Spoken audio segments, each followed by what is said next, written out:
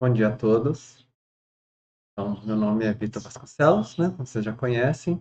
Na aula anterior nós falamos sobre avaliação de impactos ambientais. Hoje nós vamos falar sobre a questão dos riscos, é, com foco maior nos riscos tecnológicos, né? que é um pouco né, mais a linha de foco da nossa disciplina. É, mas lembrando assim que quando nós trabalhamos com risco, né, pode ser riscos de desastres naturais, riscos epidemiológicos, risco econômico. Existe toda uma disciplina, né, uma área transdisciplinar, mais propriamente de, de gestão de risco, que nós vamos pegar de, delas reflexões e vamos, nós vamos trazer para os exemplos relacionados às tecnologias na nossa aula de hoje, tá bom? Então, a primeira leitura introdutória, que, né, que é relevante, que, que eu vou pedir para vocês fazerem, é do capítulo de avaliação de risco, Risk Assessment, do livro Introduction to Environmental Engineering and Science, e que ele está disponível, né, para você esse capítulo para vocês dar, lerem. E depois que vocês lerem, é, vai ter uma atividade, né, de cinco exercícios relacionados a esse conteúdo do capítulo, tá? É, o, esse capítulo ele foca bastante na questão de risco associado à poluição, a toxicidade, né? Caso questões de saúde, que é um tema, né, que, que, importante que nós vamos tratar na nossa aula, mas que existe é, existem outros, outras questões de riscos, né, tipo, desde acidentes de trabalho, de outros tipos de impacto ambiental que vocês já viram né, na, na, na no vídeo da aula anterior que eu coloquei para vocês. Mas é, eu, conforme vocês forem lendo esse capítulo, eu, eu vou pedir para vocês para pensarem nisso, assim, que muitos desses raciocínios, dessas discussões, até das fórmulas que vão ser apresentadas, elas podem ser utilizadas em outros contextos, né, para além da questão de contaminação por poluentes. Porque a gente está sempre trabalhando com uma, um conjunto de pessoas, que pode ser maior ou menor, que está sendo exposta né, a há um determinado risco, com uma probabilidade maior ou menor que vai se mantendo, modificando ao longo do tempo, e que vai gerar um impacto, né, que pode ser maior ou pode ser menor também.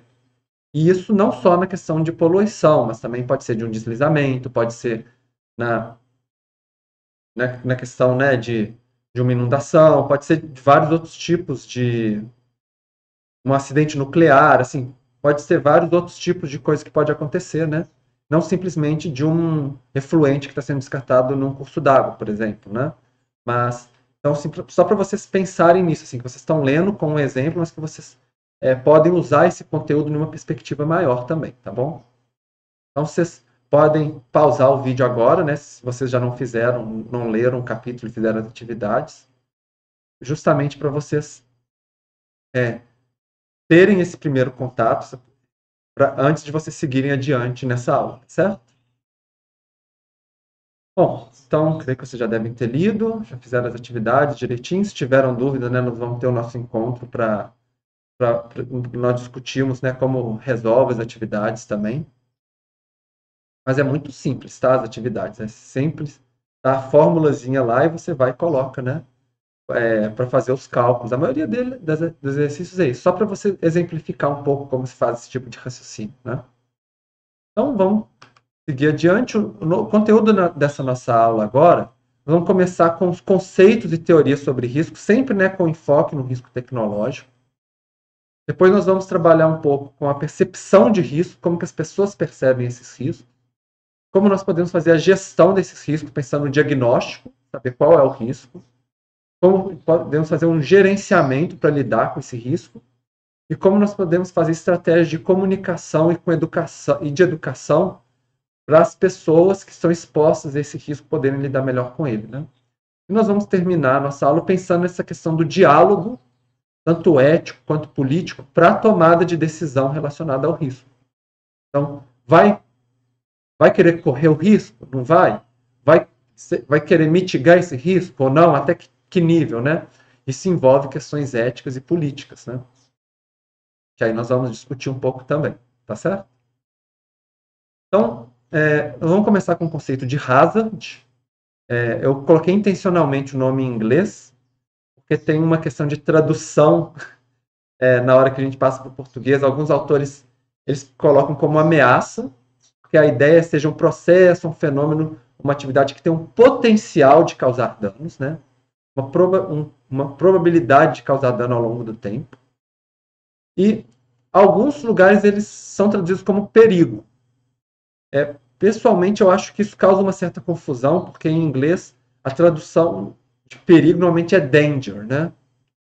E o hazard, ele está muito mais ligado a essa questão da probabilidade, né? É o hazard de jogar um dado e perder o jogo, por exemplo, né? E que eu acho que é uma tradução um pouco melhor. Mas vocês vão ver por aí também traduzido como perigo, dependendo da área né, que trabalha com risco também, tá certo? Para vocês ficarem atentos. Então, o hazard, né, a ameaça, ela pode ser de origem humana, então pode ser uma poluição, pode ser um acidente tecnológico, né, de uma indústria que vai ter um acidente, pode ser natural, por exemplo, um terremoto, né, ou pode ser combinado, por exemplo, uma, uma rede de drenagem que joga água em um barranco e por isso vai causar um deslizamento, por exemplo. Ou vai aumentar uma probabilidade que já existia naturalmente de acontecer um deslizamento numa encosta, né? E pensando sempre essa ideia que o dano é a realização concreta do hazard, né, da ameaça. Então a ameaça, às vezes, ela vai, vai, não está acontecendo. De repente ela acontece, né? E aí é o dano. Então, exemplos de hazard, né? Pode ser tempestades, inundações, é, a, ameaça de acontecer um acidente tecnológico, um movimento de massa. E os exemplos de dano são as mortes, ferimentos, os impactos na saúde, prejuízos sociais, tá? desequilíbrio econômico, degradação ambiental, que são danos que nós já vimos né, no vídeo de é, avaliação de impacto ambiental, para vocês verem como que liga nessa questão do risco com o impacto ambiental, né? Aí que é o que vai ligar um pouco nessas nossas duas aulas, conteúdos de aula dessa semana, né, dos dois vídeos.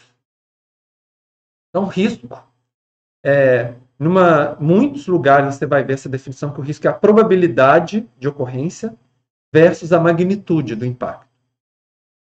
É muito utilizado né, na área de é, é, seguros, por exemplo, né, pensando assim, é, qual que é a probabilidade de acontecer e qual que é o prejuízo que eu vou levar, né? Então, se aumenta a probabilidade, aumenta o risco. E se aumenta a magnitude do impacto, também aumenta o risco, né? Então, você pode ter uma probabilidade alta de acontecer algo, um risco bem pequenininho, uma magnitude bem pequenininha. Será que é relevante? Né? Será que isso é arriscado? Ou uma probabilidade muito pequena de acontecer um risco muito grande, né? Então, é um sempre balanceando o outro. E nós podemos ir além, né? É, nos últimas principalmente nos últimos 20 anos, tem se colocado bastante essa questão da vulnerabilidade. Ela pode ser definida como isso, que é o grau em que o sistema está susceptível a sofrer danos. Então, às vezes, a magnitude né, vai atingir um sistema, um ambiente, uma sociedade, mas pensar assim, será que essa sociedade, esse sistema, ele é forte o suficiente para absorver esse impacto e não sofrer com isso, ou sofrer menos com isso? Ou ele é frágil, e aí qualquer impactozinho vai causar uma, uma desorganização ou um prejuízo muito grande, né? Então, um exemplo disso, muito utilizado, é que comunidades mais pobres, normalmente elas seriam mais vulneráveis. Por quê? Elas têm menos acesso a serviço de saúde, então se elas se ferirem né, num acidente, é, elas não vão ter condição de se tratar. Vão ter menos educação formal, né, acesso à educação formal, então talvez não vão saber o risco que estão correndo, né? Ou como se comportar numa situação de risco.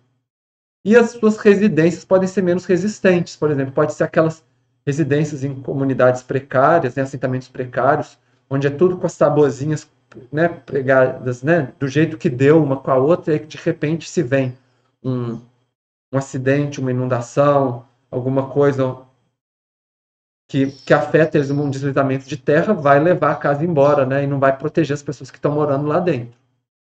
Então, essa, essa seria um pouco as questões. Além, podemos pensar outras coisas. Por exemplo, os mais pobres eles vão ter menos dinheiro, por exemplo, para é, repor né, o que eles perderam com os prejuízos, por exemplo, de um, de um, de uma de um certo impacto. Né? Bom, e agora, entrando para a questão dos riscos relacionados às tecnologias, nós podemos pensar que existem riscos crônicos e agudos. Né? Isso vocês já leram um pouco isso no texto né, de, de leitura. E os crônicos, né? Então, normalmente está muito ligado à questão de poluição em um nível relativamente mais baixo, né, mas que vai se acumulando ao longo do tempo nas pessoas que estão expostas. Pode ser emissão atmosférica, efluente de esgoto, o agrotóxico, né, que todo ano vai lá, coloca o agrotóxico, seja para a pessoa que está pulverizando o agrotóxico, que vai ter esse contato contínuo, quanto para a pessoa que está comendo né, o alimento com agrotóxico que vai se acumulando na pessoa, seja na gordura, seja no fígado da pessoa, por exemplo, né? É que chega num limite e começa a causar danos. E os agudos normalmente está muito relacionado à coisa que acontece na hora e causa, né, o, o problema. Pode ser um acidente numa indústria, podem ser trabalhos perigosos, né? E que aí você vai ter acidentes de trabalho, né? Pode ser não precisa quebrar a fábrica, mas na, na, linha de trabalho a pessoa vai colocar a mão numa substância química que vai corroer a mão dela, por exemplo, né? E pode ser falhas de infraestrutura. Um viaduto que quebra e cai, né? Pode ser um muro de, que estava contendo uma encosta e aí o muro se, se parte, e assim por diante. É, pensando que esses riscos eles podem acontecer em todo o ciclo de vida de um produto pode ser na extração da matéria-prima, durante a produção, na hora que ele está sendo armazenado, né? no transporte para o seu uso, ou durante o uso também. A gente falou aqui no caso, por exemplo, né, da comida que está sendo, que tem agrotóxico, na hora de dispor os resíduos né, que, que sobram desse uso. E aí vão ter riscos também né, nos, nos aterros, risco de lixiviação, né, dos, componentes do, do, no aterro, então se não for disposto de maneira correta, né, for disposto nos rios, né, é, no solo, as pessoas terem contato direto, né, e inclui também as falhas por operação humana. Então, é, não significa que é um risco que acontece só por causa do, da tecnologia em si, mas pode ser que uma hora a pessoa opera de uma maneira que não, não, é, não seria correta e aí causa, por exemplo, um acidente ou causa um uso de uma maneira mais perigosa né, do produto. O motorista pode sofrer um acidente, aí pode virar o caminhão e cair tudo no chão, e cair tudo no solo, por exemplo, na beira da rodovia, assim por diante. E tem as consequências, que são os impactos, nós já conversamos, mortes, né, danos à saúde física e mental, ambiental, materiais, né, as interrupções em atividades sociais e econômicas, que podem acontecer, né? Por exemplo, né? Cai um viaduto e aí, né? Não tem mais jeito de passar ali, assim por diante, tá certo? Então, nós vamos ver um pouquinho dos riscos crônicos e dos riscos agudos dentro desse contexto ao longo, né? Da nossa aula. Então, para exemplificar a questão dos riscos crônicos, para você esse estudo sobre riscos de câncer por ingestão de peixes no Lago Michigan, que é um lago bastante poluído próximo de Chicago, onde tem muitas indústrias próximas, né? E é, fizeram esse estudo pensando assim, qual é a frequência que você come determinados peixes, pensando que alguns peixes acumulam mais do que os outros, né? Substâncias tóxicas, principalmente assim, os do topo da cadeia alimentar, ele come o peixe que já está contaminado, então ele contamina mais ainda, né? E a gente tem aqui essas linhas mostrando a, a chance de ter câncer. Por exemplo, se você come uma refeição por semana desse peixe, então ao longo da sua vida você tem uma chance em 10, por exemplo, de pegar câncer, né? Algum. E aqui embaixo, né, seria uma chance em 10 milhões, uma chance muito pequena. E aí vai comparar, nossa, esse peixe está aqui nessa linha, esse outro peixe, esse outro, e aqui comparando com outras alimentações que não são do lago, né? Tipo carne vermelha, carne de, de frango, carne suína, de boi, de atum, né, enlatado que vem do mar, para você comparar o, o risco que você está correndo a mais comendo peixe desse lado. E aí tem a questão da frequência, por exemplo, essa é uma refeição por semana, né? Se a pessoa comer uma refeição por mês, aí os que estavam aqui, ó, desceu para cá. Teve uma e também, lógico, né, a alimentação cotidiana também diminui os riscos também de câncer. E aí, é, se for uma refeição por ano, aí cai mais, mais ainda. Uma que estava quase no 1 por 10 cai para quase para 1 para 1000, né? Mas ainda é um risco. E assim as pessoas podem pensar assim, ah, então eu gosto muito desse peixe, mas não dá para comer todo dia, né? Não dá para comer toda semana, talvez tenha que comer raramente. E assim por diante. E aí, esse, esse estudo, eu mostrei assim, um, um estudo, né, foi de 1989 esse.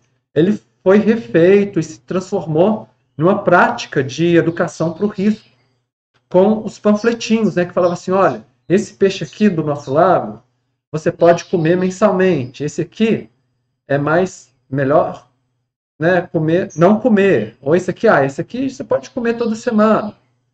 E aí, conforme, né, vai aumentando, diminuindo o nível de poluição ao longo das décadas, eles vão atualizando esses panfletos, não só no Lago Michigan, mas em vários lagos nos Estados Unidos que tem essas questões de poluição, né, para é, para aconselhar as pessoas, né? O que, é melhor comer, o que é melhor não comer, o risco que a pessoa está exposta, assim por diante. Tá? A gente vê um pouco, né, um exemplo dessa questão dos riscos crônicos. É, lógico que existem muitos desafios para avaliar isso e, e insegurança para chegar nisso, né? Então, é, eu trouxe isso de um, do, de um texto né, de, de leitura da primeira aula da professora Lúcia, né?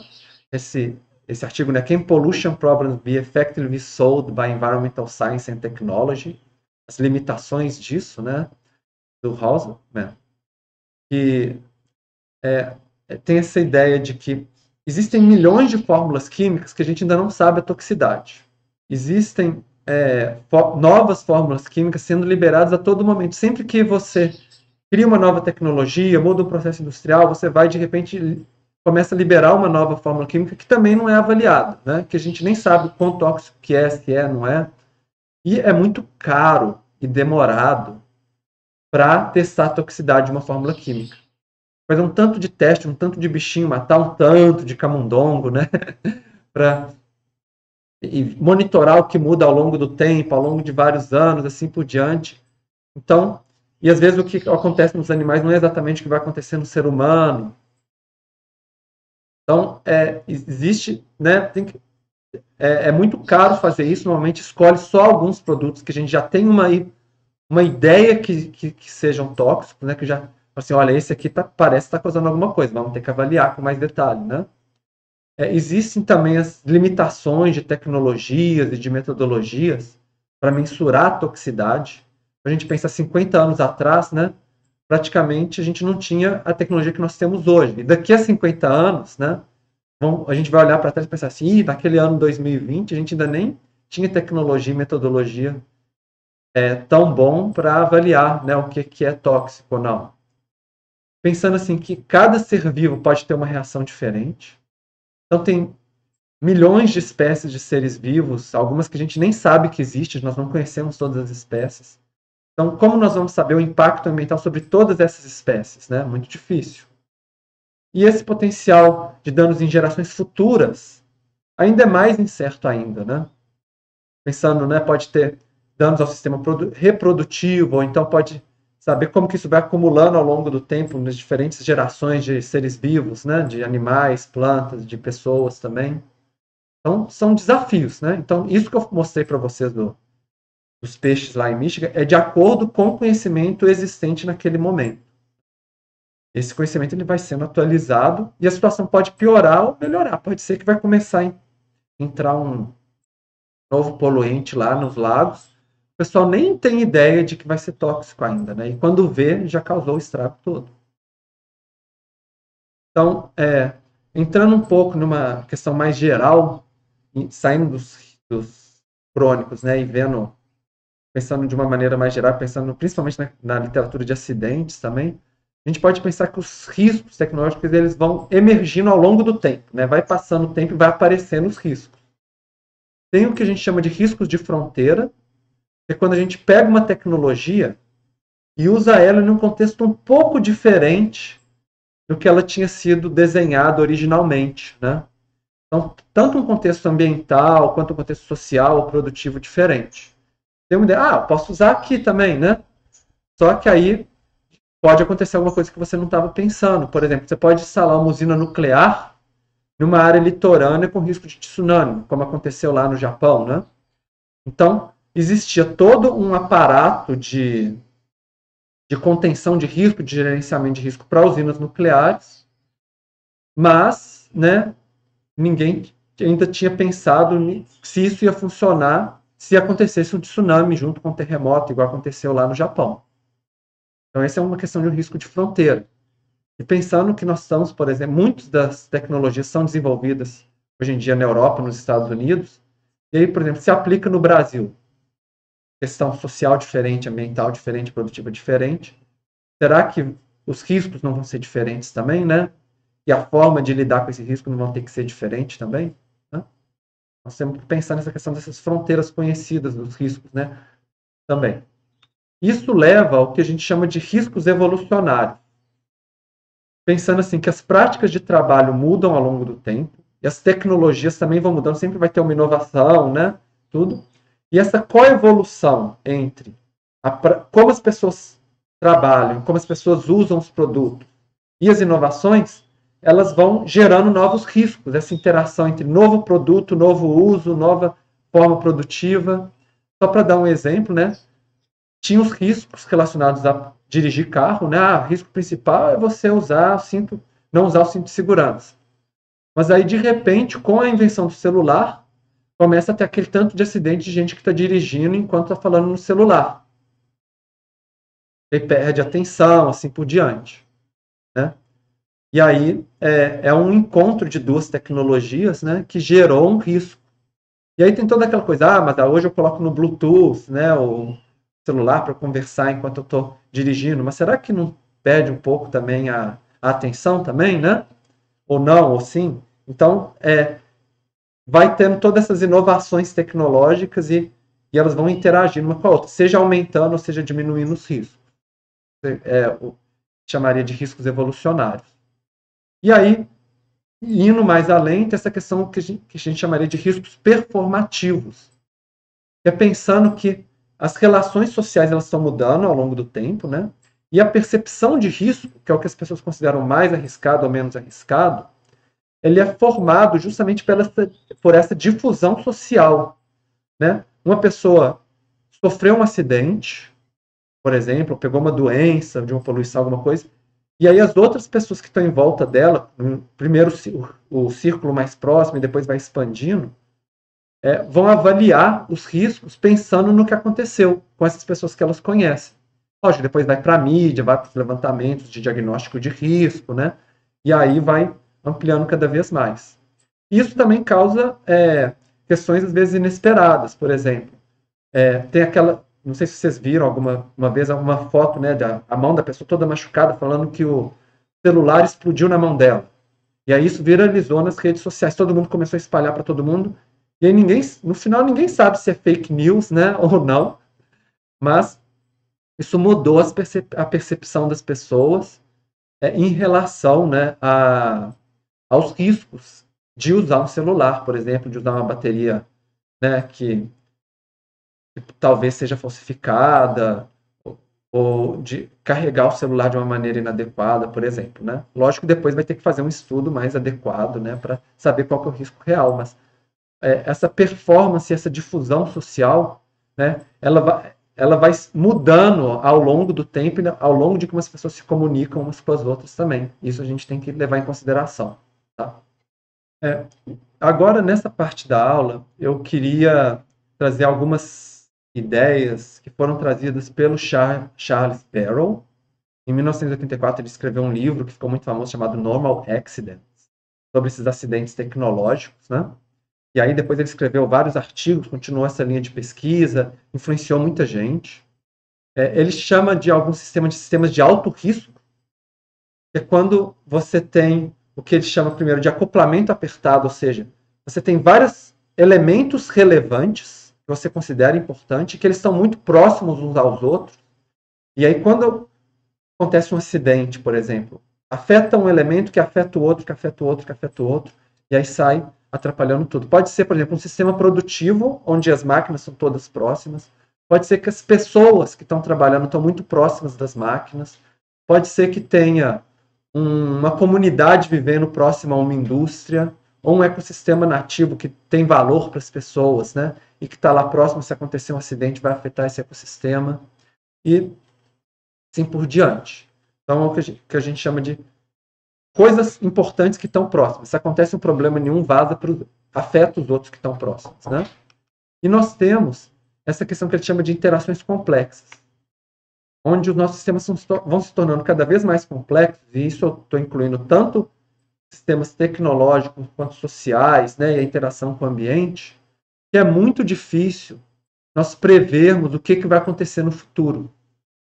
Então é a questão da incerteza mesmo. Vocês viram né, a questão das mudanças climáticas, das incertezas que estão relacionadas às mudanças climáticas. A gente pode pensar assim, um sistema, uma indústria gigante, toda complexa. Será que a gente consegue dominar tudo e tirar todos os riscos que estão nessa indústria? Né? Vi, nós vimos também essa questão do, da toxicidade. Será que a gente consegue avaliar os impactos da toxicidade né, totalmente dentro da, da, dos riscos crônicos? E assim, e assim por diante. E aí, conforme vai aumentando o desenvolvimento econômico e tecnológico, cada vez vai aumentar a densidade, ou seja, os elementos vão se tornar cada vez mais próximos uns dos outros, e aumentar a complexidade desses sistemas. E aí, com isso, vai crescer o risco cada vez maior. Né? Então, aí que a gente entra nesse cerne do risco tecnológico, né? nesses sistemas muito densos e não totalmente certos. A gente sempre pensa na tecnologia como algo certeiro, mas o Charles Perrow traz essa ideia de que, na verdade, com o aumento do desenvolvimento tecnológico, a gente está aumentando a complexidade, aumentando as incertezas, aumentando a, a colocando elementos muito próximos, né? que dá uma sensação de segurança, que está tudo organizadinho, mas que aí quando um dá problema, aí sai é, dando problema em tudo. Né? E é, o Charles Perrow traz essa questão da aceitação de um risco tecnológico como normal.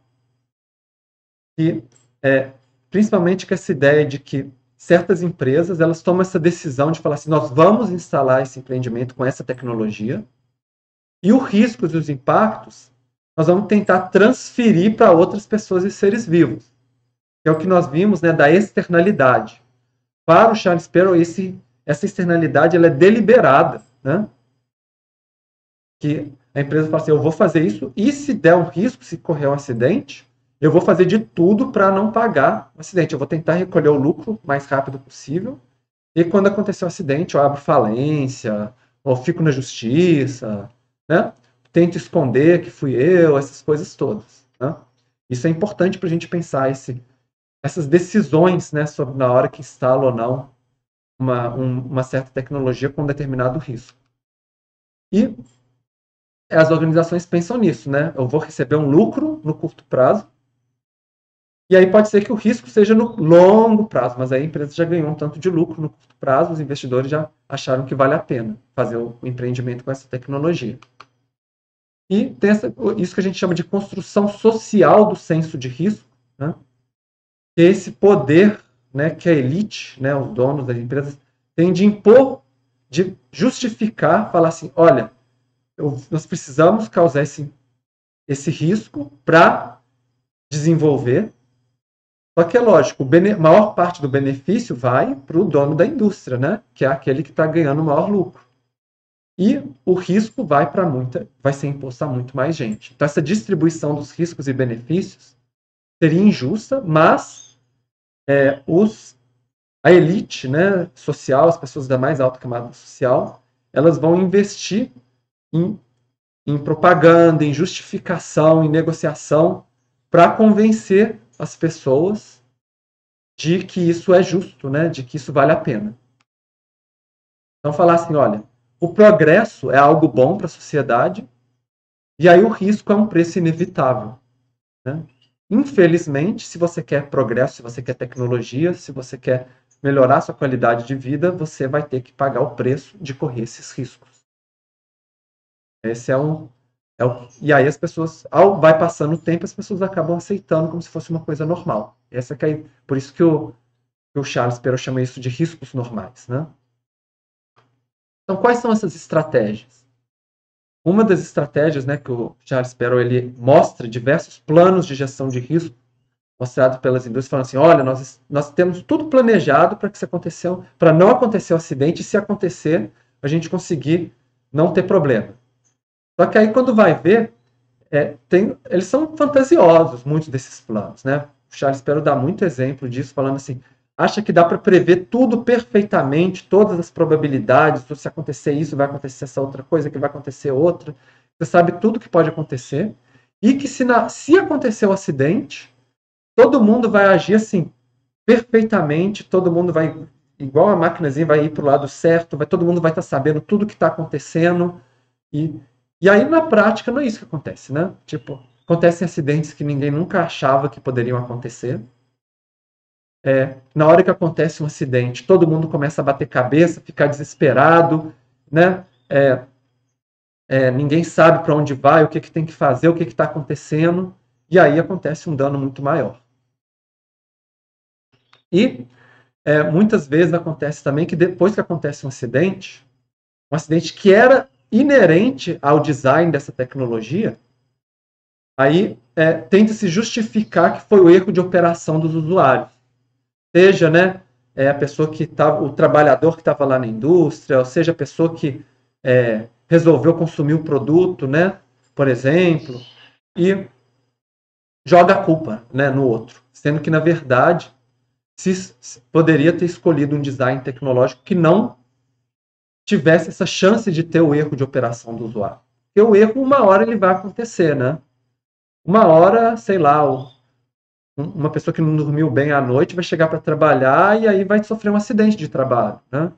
Então não é melhor fazer um, um design tecnológico do sistema produtivo para que não aconteça o acidente, né? Exemplo.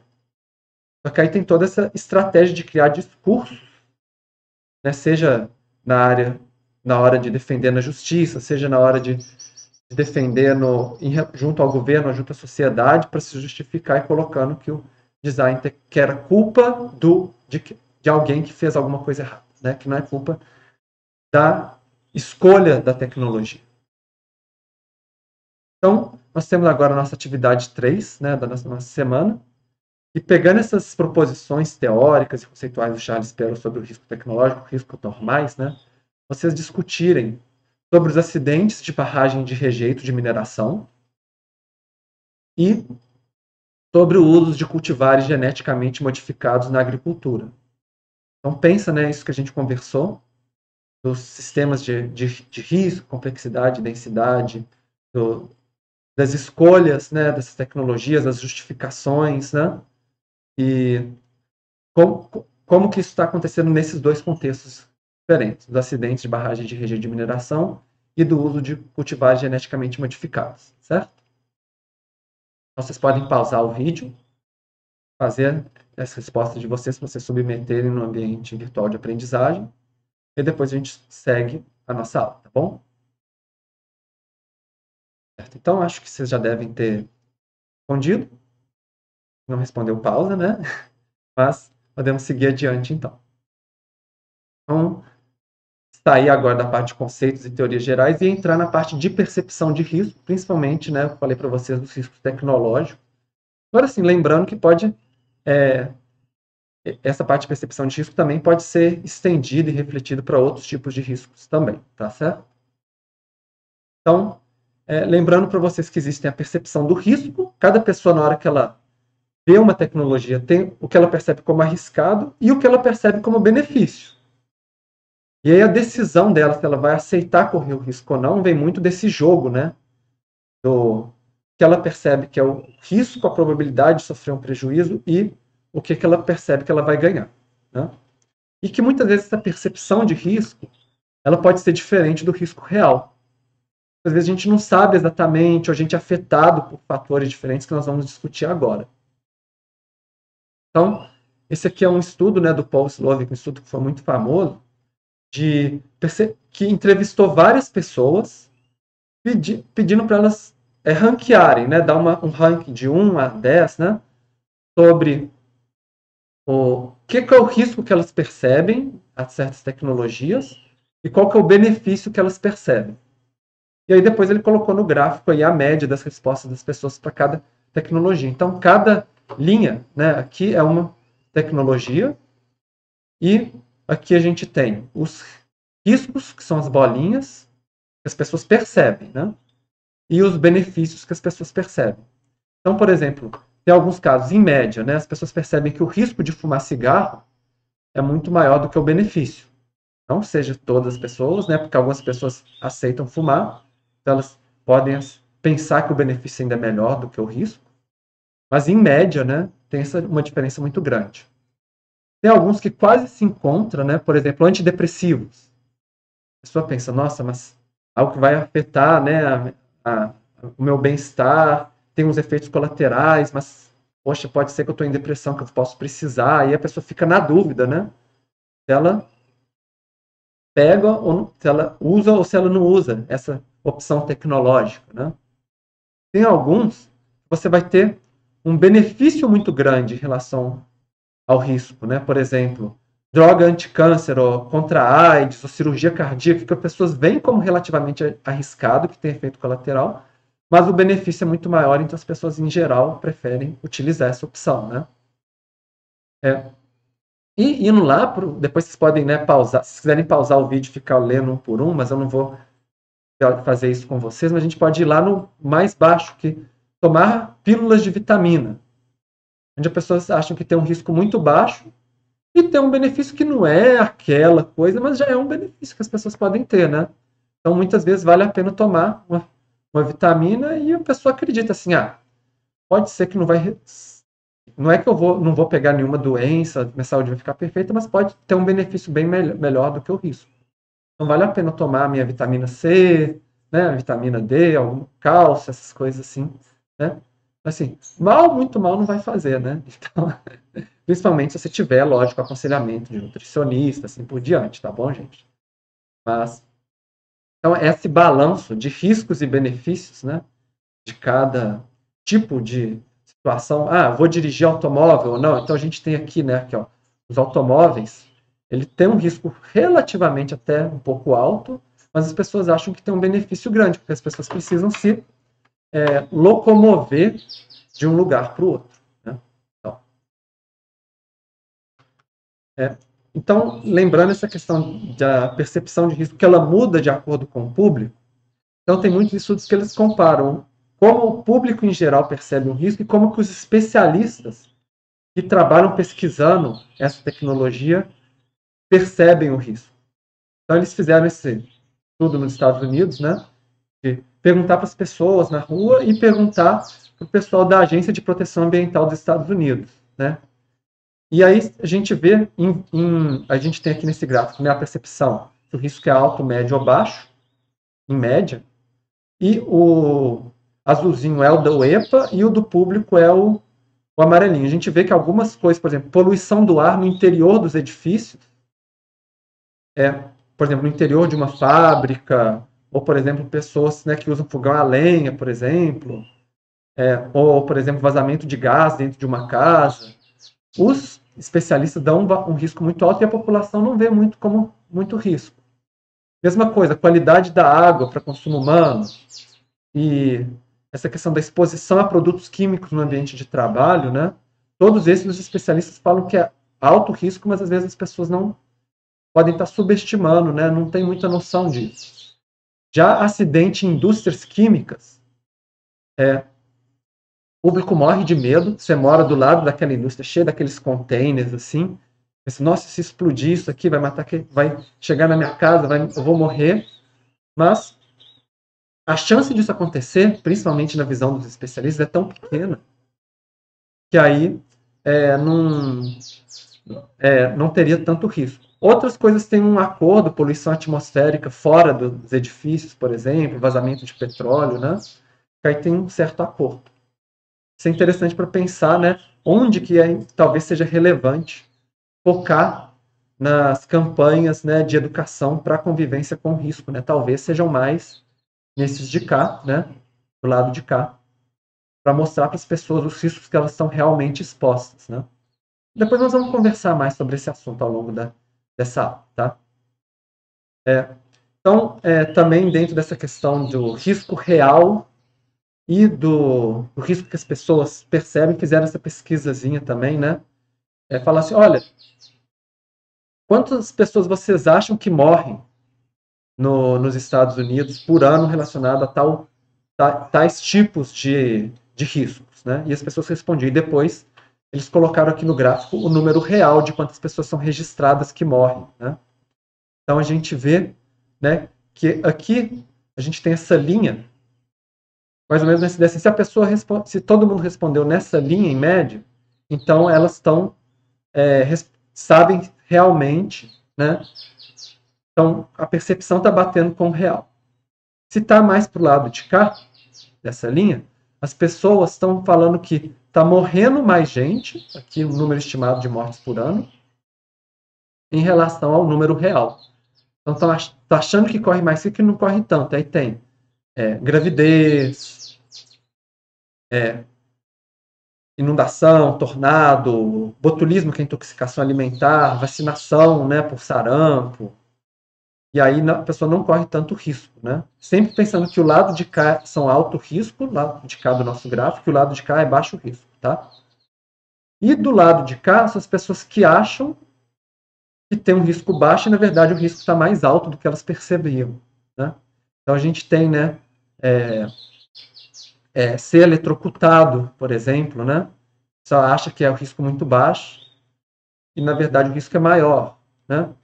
E vários outros, né, de doenças e tudo. E os acidentes, em geral, as pessoas subestimam os acidentes. E aqui tem uma barra só para mostrar a variação.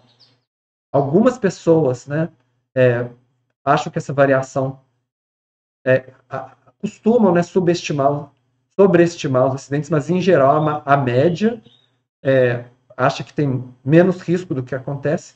E é interessante que os acidentes com veículos caiu muito em cima da linha, né? As pessoas elas têm a consciência de que é, de que tem, de que é um alto risco. Muita gente morre por isso, né? E elas têm essa noção, mas mesmo assim, como a gente tinha conversado, as pessoas veem que tem um benefício maior do que o risco, né? Porque as pessoas dão o benefício de se deslocar é muito grande. As pessoas aceitam correr o risco, mesmo sabendo que muita gente morre é, por, por acidentes em veículos motorizados, né? Então, o que que afeta a percepção de risco? Então tem muitos estudos que eles tentam controlar pelos fatores. Se a pessoa escolhe correr o risco, muitas vezes ela subestima o risco que ela está correndo. Então, é, é, engraçado isso, né? Se a pessoa, o risco foi imposto, por exemplo, a pessoa morava num local instala uma indústria, e a pessoa não escolheu que a indústria se instalasse lá, aí pessoa, as pessoas normalmente elas dão um risco maior, né? Acham que estão correndo um risco maior. Então, mas se a pessoa resolveu comprar a casa já do lado da indústria, depois que a indústria já está instalada, ela dá um risco menor, por exemplo, né? Se ela é a pessoa que escolheu. É. Da mesma forma, se o risco pode ser controlado pela pessoa, ela costuma subestimar o risco real. Por exemplo, a questão se a pessoa fuma, por exemplo, né? quantos cigarros a pessoa vai fumar. A pessoa ela tem a sensação de que ela está controlando isso, sempre pensando na sensação de controle, né? não no controle real. Né? E se a pessoa sente que ela não consegue controlar, aí ela sente que tem mais risco. Por exemplo, se a pessoa está dirigindo, ela sente que ela está controlando. Se a pessoa tem o risco de ser atropelada por uma outra pessoa, ela sente que ela não está controlando. E aí ela sente mais risco do que normalmente o risco real. Seria mais ou menos essa ideia. A familiaridade do risco também afeta. Se a pessoa tá, convive com esse risco no dia a dia, né? Ou não. Então a pessoa vai meio que acostumando aos riscos normais, né? Mas também envolve também essa questão da pessoa saber o risco que ela está correndo também, né? Lógico, né? A familiaridade ela tem essas duas coisas, de se acostumar, mas também de entender um pouco mais o que está acontecendo. Se o prejuízo dura pouco, a pessoa tende a perceber como menos arriscado, mas se o prejuízo é permanente, não tem jeito de voltar, né? A pessoa tende a perceber como um risco maior. Se o prejuízo é no futuro, ah, é algo, deixa estar lá para o futuro, as pessoas acabam subestimando o risco, mesmo que seja um, um impacto alto. Mas se acontece na hora, as pessoas tendem a colocar a, a responder que é um risco alto. Se um risco é natural, né, as pessoas tendem a meio que aceitar, né, esse risco, mas se é causado por seres humanos, as pessoas tendem a protestar ah, é culpa sua do nosso risco, é um risco muito alto, né? Por exemplo. Você pode colocar a culpa em alguém, né? É, se a fonte é confiável, as pessoas tendem a diminuir a sua percepção de que é arriscado, porque elas conseguem entender melhor e, e, confiar de que o nível de risco é esse. Mas quando a, as pessoas acham que a fonte não, não é confiável, a insegurança de, da incerteza aumenta a percepção de risco das pessoas. E esse é fácil de vocês pensarem, né? Quando está no noticiário, nos jornais e tudo, a percepção né, de que é arriscado aumenta. As pessoas são influenciadas né, pela mídia, né, que está mostrando o problema acontecendo e tudo. E aí, quando começa a desaparecer dos noticiários e tudo, aí as pessoas vão esquecendo né, essa questão do risco relacionado a certas questões tecnológicas também. Né? É, a percepção também está tá relacionada com essa questão se é justo ou se é injusto. Então, por exemplo, se todo mundo está correndo um risco igual, em geral, as pessoas atribuem menos risco a isso. Aquela questão da, do risco normal para todo mundo. Agora, quando é desigual e injusto, as pessoas protestam mais, sentem-se desconfortáveis, né? E começam e pensam né, na, no grupo que está exposto a, acima do, do risco médio, né? As pessoas aumenta a percepção de risco das pessoas. É. A questão se é visualmente observável ou não modifica bastante. Então, por exemplo, uma poluição que é meio invisível, né, do ar ou da água, que quando é da água, alguns tipos de poluição são visíveis e outros não, né? E aí é, isso vai influenciar também, né? Como as pessoas percebem que estão expostas a um risco alto ou baixo. Se a água está lá transparente, bonitinha, às vezes a pessoa vai não vai atribuir tanto risco, né? Questão disso, mas existem podem existir poluentes lá também, né? É, também tem essa questão. Se mata, as pessoas né, atribuem uma percepção maior de risco. Ou, se não mata, né, aí é, atribui menor risco também. E tem essa questão da tendência. Então, se o risco, se as pessoas têm essa percepção de que o risco está crescendo ao longo do tempo, tem uma tendência crescente, aí elas vão atribuir uma, um maior risco. Agora, se o risco está diminuindo, as pessoas já vão começar a atribuir menos risco, né? Então, a gente viu isso muito, né, na pandemia, por exemplo, de Covid. Né? Às vezes o risco já ainda está alto, mas por, pelo fato de estar tá descendo, começando a descer, aí as pessoas falam, ah, já está tudo bom, já está me, tá, tá melhorando, né?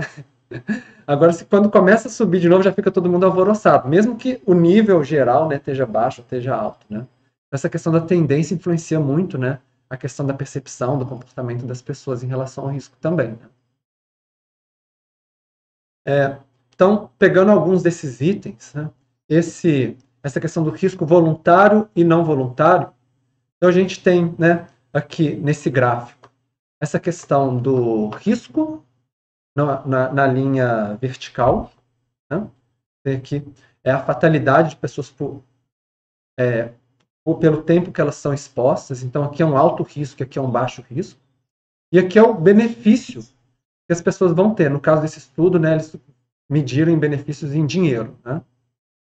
E, e aí, essa linha, eles traçaram duas linhas. Uma linha para os riscos involuntários e outra linha para os riscos voluntários. Pensando assim, se o benefício fica melhor do que o risco, está do lado de cá, a pessoa aceita, que a pessoa rejeita. E aqui para os riscos é, voluntários. Então, a ideia é que para os riscos voluntários, a pessoa aceita correr um risco até mil vezes maior do que o do risco involuntário. Eles pegaram vários tipos de riscos, né? Então, risco de sofrer um o desastre natural é um tipo clássico de risco involuntário, né? Então, mas, por exemplo, você escolher fumar ou você escolher andar de esqui descendo montanha abaixo, tem o risco de bater na pedra e morrer, né? Mas a pessoa que escolheu, então ela aceita escolher um risco mil vezes maior em relação ao benefício, ao mesmo benefício que ela poderia ter. Né? Lógico que essa escolha do que é o benefício, eles fizeram uns ajustes lá, né, econômicos e tudo, mas de qualquer forma é interessante, né, como essa pensar essa tendência geral, né, de, das pessoas aceitarem mais do que, é que elas escolhem voluntariamente. Outra questão é que as pessoas sempre acham que correm menos risco do que os outros. Nem sempre, mas em média, elas tendem a achar. Né? Você sempre acha assim, eu, eu, eu tô dirigindo o meu carro, eu tenho, eu, eu me garanto, né? tipo, como se fosse isso. Ou então assim, ah, eu vou comer essa comida aqui que tem agrotóxico, ah, mas comigo não vai acontecer nada, não, acho que não vai acontecer nada, não, dá para comer só umazinha aqui, depois outro dia outra, assim por diante. E isso é gradual também em relação ao círculo de pessoas.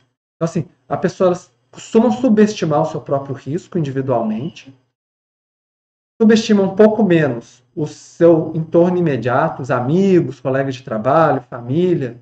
E aí, quando for é, para a população em geral, elas costumam atribuir um risco mais alto. Então, esse gráfico aqui eles fizeram lá na Suécia, né, relacionado a diversos tipos de risco, justamente para ser uma para ver uma tendência geral. E tem aqui no, no eixo aqui vertical a, o risco médio que as pessoas percebiam em relação ao mesmo risco, mas em relação a níveis diferentes. A própria pessoa, família, amigos, quando não era especificado e quando era qualquer sueco ou suecos em geral, né? Então, o em geral está sempre no mais alto, né? A, a percepção de risco. E que é uma é uma coisa assim que matematicamente, né, não, não faz muito sentido, né? Por exemplo, todo mundo acha que dirige melhor do que a média. Só que matematicamente, mais praticamente 50% dirige pior do que a média e 50% dirige melhor. Mas grande maioria acha que dirige melhor do que a média, né? Tipo uma coisa assim desse, nesse sentido, né? E aí é uma coisa importante para a gente pensar, né? Como lidar com isso na gestão de risco. Esse aqui é um gráfico do mesmo estudo, que eles pe pegaram quanto que seria a subestimação do risco, ou seja, quanto que a pessoa acha que o risco pessoal né, é menor do que o risco geral, em média, né? É que a pessoa subestima, que as pessoas né, subestimam de uma maneira geral, e cada tipo de risco em relação ao nível de controle que as pessoas percebem que tem. Então, as pessoas falaram assim: em relação a esse risco, eu sinto que eu sinto controle, eu sinto que eu não tenho controle. E aí, é, de acordo com a resposta para cada risco, eles foram colocados. Cada bolinha é um tipo de risco diferente tecnológico, relacionado à tecnologia. E aí a gente vê que quanto maior é a percepção de que a pessoa tem o controle, mais ela subestima o risco. Que é um pouco aquele exemplo que eu falei, né, da pessoa dirigindo. Por exemplo, uma coisa que a pessoa não tem controle, por exemplo, uma indústria, ela mora do lado da indústria, ela não controla a gestão de risco da indústria, aí ela não subestima tanto o risco assim. O risco pessoal para ela, né, no caso. É, Outra questão é em relação a quanto que a pessoa conhece ou não conhece a taxa de risco né, que ela está correndo. Então, a gente tem aqui, cada bolinha também aqui é um risco. Só que os riscos com a bolinha maior, né, as pessoas sabiam qual que é a taxa de risco que ela está correndo. Nos, e também sabiam qual era o benefício que elas receberiam. Então, a pessoa tem que ver se ela aceita em relação ao risco e ao benefício, né? Já as bolinhas menorzinhas, os pontinhos pretos, a pessoa sabia o benefício, mas ela não sabia o risco que ela estava correndo. E cada bolinha é um tipo de risco tecnológico diferente, né, e tudo. E aí a gente vê assim, essa linha preta é como é a média geral em relação aos riscos que as pessoas não conheciam taxa de risco. Vê que aumenta bem levemente em relação ao benefício, mas muito pouco, é quase uma linha reta. E quando as pessoas sabiam bem né, o risco que elas estavam correndo, que é essas bolinhas maiores, aí essa faixa pontilhada, que é o médio. Então a gente vê que as pessoas faziam mais essa esse balanço né, entre o risco e o benefício na hora de escolher ou não é, o que, que elas aceitariam. Né?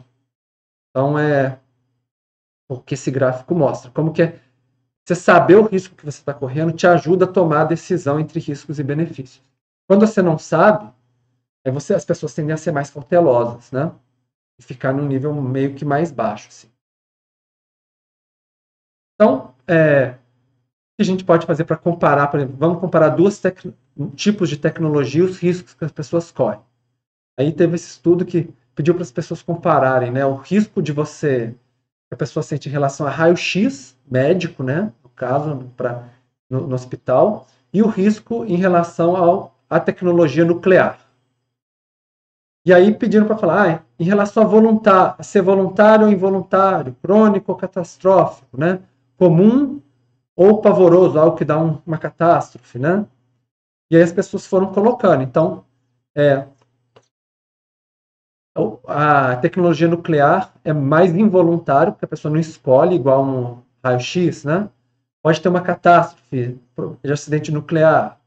É mais comum, né, o raio-x do que o, um problema que pode acontecer na, no acidente nuclear. Normalmente é menos fatal do que acidente nuclear. A pessoa conhece, mas nem conhece um pouco mais né, sobre o efeito do raio-x ou não. É um efeito de curto prazo, o nuclear, e o raio-x pode ser algo que vai acumulando ao longo da vida. É o único que inverte, né? A pessoa fazer muito raio-x ao longo da vida, no final da vida ela pode ter um câncer, por exemplo. Se é mais conhecido pela ciência ou não, se é controlável, né? E se é mais antigo ou não, porque aí, aí tem essa coisa também.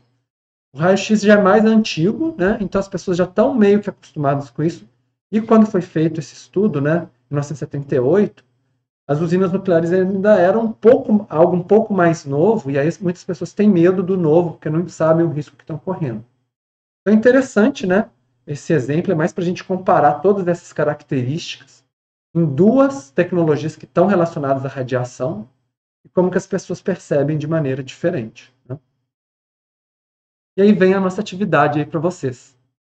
Vocês escolherem duas tecnologias relacionadas ao tema de pesquisa de vocês dois riscos relacionados a tecnologias, né? E aí vocês se, é, se colocarem no lugar do entrevistado, né? E vocês fazerem o perfil, igual a gente fez nesse de cá, viu esse exemplo, vocês fazerem o de vocês. Pensar que medida é voluntário ou involuntário, crônico, agudo, né? Fatal não fatal, se prejuízo é no futuro, imediato, conhecido ou desconhecido pela ciência controlável, incontrolável, a exposição, né, se é equitativa ou desigual, se está crescente, decrescente ou crescente, se o dano é temporário ou permanente, se o, e o último, esses são mais relacionados a risco, e o último é relacionado ao benefício, né? Justamente para a gente fazer um pouco assim, a média dos riscos em relação ao benefício também. E aí, vocês fazerem essa, essa, esse exercício de raciocínio, relativamente rápido, né? Vocês podem, eu vou colocar o, esse slide, né? Pra, pra, se vocês quiserem ter acesso ao, ao slide, para vocês desenharem nele, ou então vocês podem fazer uma tabelinha em qualquer lugar também, e até a mão, né? E entregar, tá bom? bom? Então nós vimos todos esses termos, agora vocês já brincaram um pouco de raciocinar com eles também. É. Então, é, dentro da, tem uma área que chama psicometria, né, que estuda muito essas questões de, é, de questionários, de entrevistas que, entre pessoas. E aí eles pegaram todas essas características que as pessoas respondiam no questionário e pensaram assim: existem certas tendências gerais que normalmente as pessoas tendem a, res, a responder certos aspectos de forma semelhante do que outros. Eles fizeram uma técnica, né, o Paul Slovic também, ele fez uma técnica chamada análise de componentes principais, que tenta achar essas tendências nos questionários, e ele achou dois eixos de tendência. Uma, que ele achou, chamou meio que de terror, né, ou pavoroso ou não, que tem a ver com todas essas características. Em geral, as pessoas respondem de maneira semelhante. Se é controlável, se é não controlável, as pessoas têm mais medo. Amedrontador, consequências no mundo, globais, fatais, posição não igualitária, catastrófica, risco para as futuras gerações, não é facilmente reduzido, risco crescente, involuntário, né? E o oposto, né? As características opostas, que aí seriam menos medo. E a outra, o outro eixo, é a questão da certeza. Então, sim, não é observável, as pessoas têm mais dificuldade de ter certeza sobre o risco que está exposto. A pessoa não entende o risco, o efeito é no futuro, o futuro é sempre mais incerto, né? O risco é novo, é algo que as pessoas não estão acostumadas. Ele é desconhecido pela ciência ainda, não tem muita pesquisa sobre o assunto. Então, normalmente, existem esses dois grandes eixos, né? Que meio que congregam todas essas características. E aí, dentro dessas pesquisas, ele criou esse gráfico, né? Onde a gente tem o desconhecido até o conhecido e o baixo temor até o alto temor. E aí os, é, essas bolinhas, né, como se fosse a, a congregação dos dois, essas duas características. Então, o lado de cá do gráfico seria o alto risco para as pessoas, que elas atribuem em um alto risco geral. E o lado de cá, um baixo risco geral. E muito influenciado pelo temor do impacto, né? Seria a magnitude do impacto e se é desconhecido ou conhecido. Então a gente vê, por exemplo, os acidentes nucleares, né? É, lixo radioativo, mineração de urânio, né? São sempre colocados como um alto, né? Risco e alto desconhecimento também. É, tem algumas coisas, né? Que, que as pessoas se sentem desconhecido como radiação de microondas, mas que eles não percebem como totalmente pavoroso, né? Um impacto tão forte. É, tomar café, né, por exemplo, é um baixo temor, embora às vezes as pessoas tenham dúvida, né, do efeito ou não. Mas tem outros que as pessoas sentem que conhecem bem, que tem baixo temor, por exemplo, andar de bicicleta ou descer de esqui, né? Mas estou falando sempre a percepção das pessoas. Esse aqui não é o risco real, tá, gente? O risco que as pessoas percebem baseado nesses questionários, né? E tem alguns que são relativamente conhecidos, mas que têm temor, por exemplo, armas de fogo, né?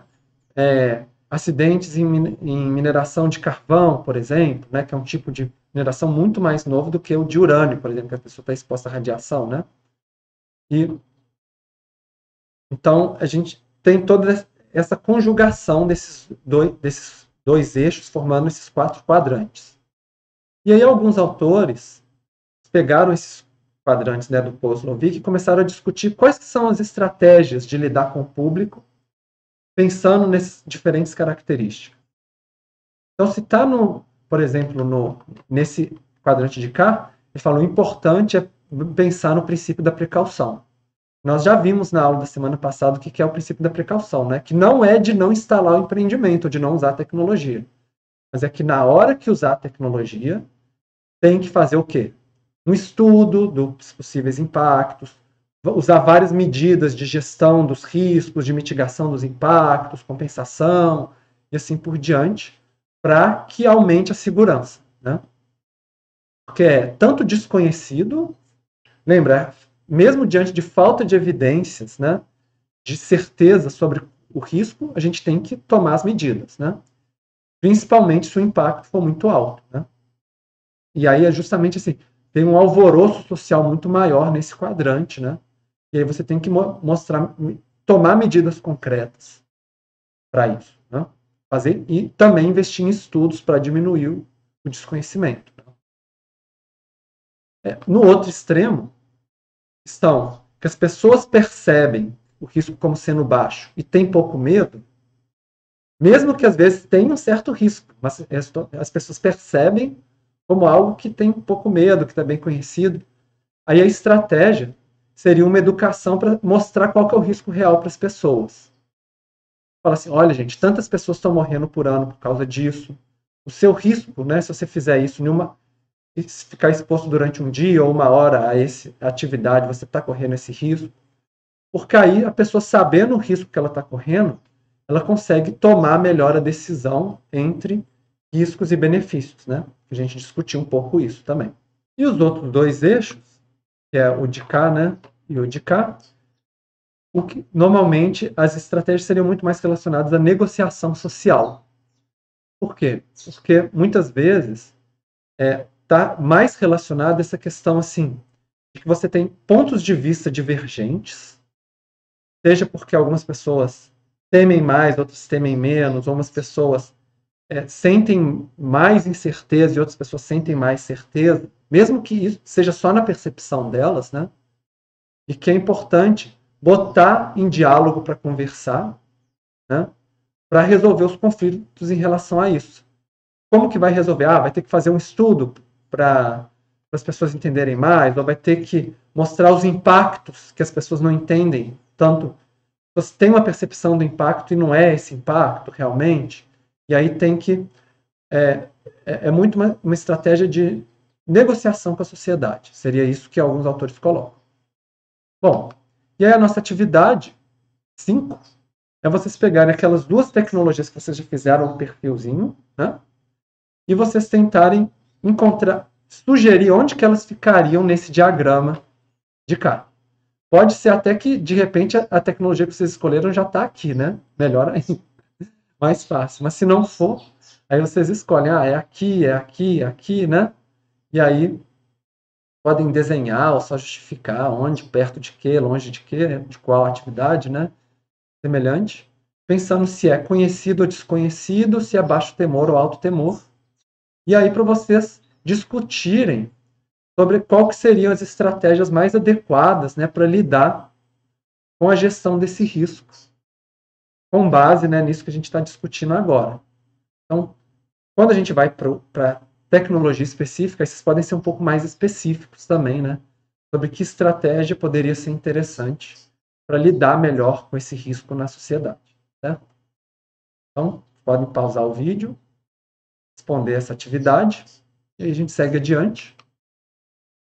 Seguindo ainda nessa linha da percepção de risco, é interessante pensar que às vezes grupos sociais diferentes podem ter percepção de risco diferente.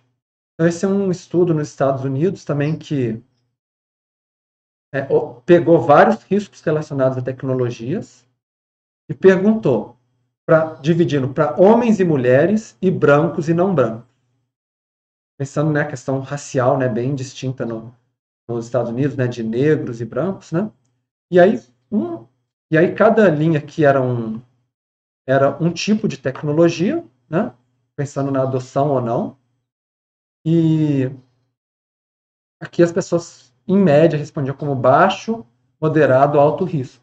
E é interessante que o homem branco ele sempre atribuía menor risco do que os outros grupos, mulher branca ou negra, ou né, não branca, homens não brancos, né, que, que em geral se misturavam nesse perfil de cá.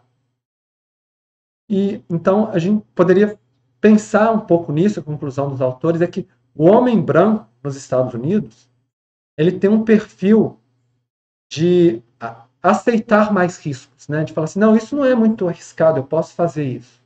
Já os outros grupos, eles têm uma maior aversão ao risco, são mais cautelosos. E aí vem uma outra reflexão nisso, né? Pensando é que normalmente você tem questões econômicas, socioeconômicas, de diferenciação entre esses grupos. Né? Então, por exemplo, brancos nos Estados Unidos recebem salário maior, têm posições de decisão política ou nas, dentro das empresas maior, e homens também, né? Tem mais homens em posições de chefia, em posições políticas, que vão tomar a decisão.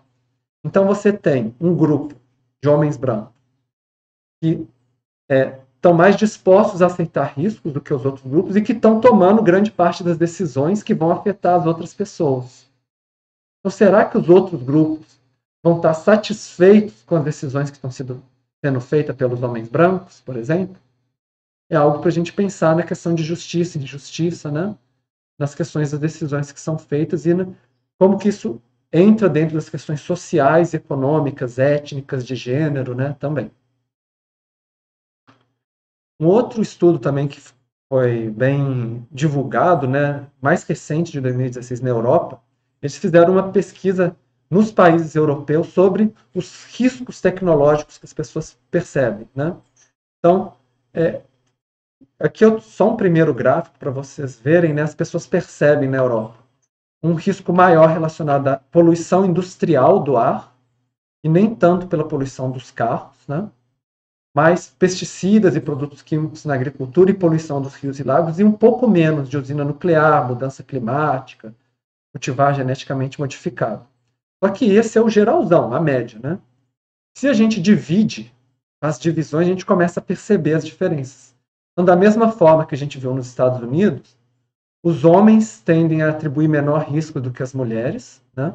pensando que aqui é o menor risco. Um é não perigoso de maneira alguma, e cinco é muito perigoso, né? Então os homens comecem, tendem a atribuir menor risco. O posicionamento em classe social. E aí, assim, a pessoa se, na, na pergunta falava, eu sou de alta, de média ou de baixa classe social, né? E quem é de alta classe social normalmente atribui menos risco do que os de baixa classe social. E aí tem tanto essa questão da pessoa estar tá disposta a aceitar risco, mas também pode ser pensado na ideia de que muitas vezes a pessoa de alto, alta classe social ela tem como se cercar dos riscos, né? morar em um bairro menos poluído, é, ter acesso a serviços né, de saúde, caso ela corra o risco. Então, ela, ela se sente mais protegida dos riscos do que alguém de baixa classe. E tem a questão do local de moradia. E aí, as pessoas nas cidades, elas se sentem mais expostas aos riscos do que, por exemplo, um extremo, uma pessoa que vive na fazenda.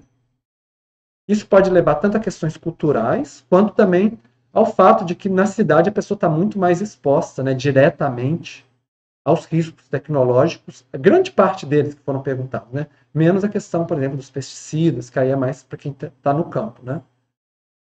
E, tem, e aí teve uma mudança intermediária né, para a pessoa que vive na beira da cidade, numa cidade pequena, numa vila rural, então atribuem valores intermediários. Então a gente tem uma gradação da grande cidade, do suburbano ou do semi-urbano até o rural. E um outro, um outro estudo interessante que eles fizeram nesse estudo da Europa foi essa relação entre o produto interno bruto e o risco ambiental percebido em cada país. Né? Pensando assim, será que então, para cá é quanto maior o, o, risco percebido em média pela população, e aqui é quanto o país é mais rico ou mais pobre, né? E a gente vê e aí, no caso, eles fizeram esse gráfico, eu trouxe esse gráfico de um outro estudo de 2005 que fez a mesma coisa em relação a isso. Só que eles incluíram mais países de fora da Europa, tá? Mas se a gente pegasse o que eles fizeram no estudo de 2016, deu a mesma coisa, só que sem os países, alguns países de fora da Europa. Então, foi, é mais é, é para pegar um estudo mais completo que eu peguei, embora um pouco mais antigo, mas o padrão observado foi o mesmo. E a gente vê que os países mais pobres, as pessoas percebem um risco maior.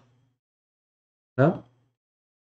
E muito disso, né, dentro dessas reflexões do que foi discutido nesses estudos, pode ser porque nos países mais pobres você tem uma regulação, as pessoas percebem uma regulação mais frouxa, né, dos padrões ambientais de uso das tecnologias. Então, as pessoas não confiam tanto no controle de poluição, por exemplo, num país mais pobre.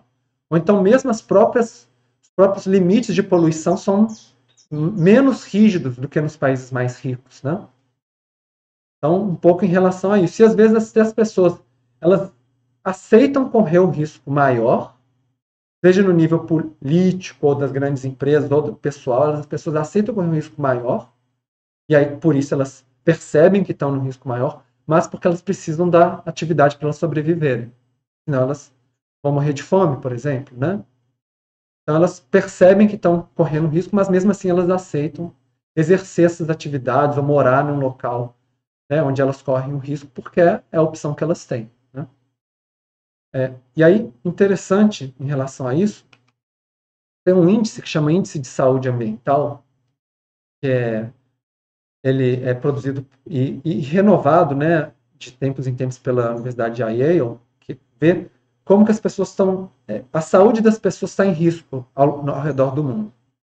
E aí ele é ponderado, né, pela influência de que certos indicadores têm na expectativa de vida das pessoas. Então, qualidade do ar vale 65% nesse, né, nesse índice, qualidade da água 30% e metais pesados 5%. Então, quer dizer, ele não pega todos os riscos né, do, do ambiente, mas pega alguns, que é interessante da gente ver. E cada um desses, desses subíndices ele é dividido em índices também ponderados pela influência na expectativa de vida. Então, tem alguns indicadores relacionados a material particulado, para a qualidade do ar, e a questão de combustíveis sólidos domiciliares, que é o que a gente não tem tanto no Brasil, mas principalmente na África e na Ásia, né?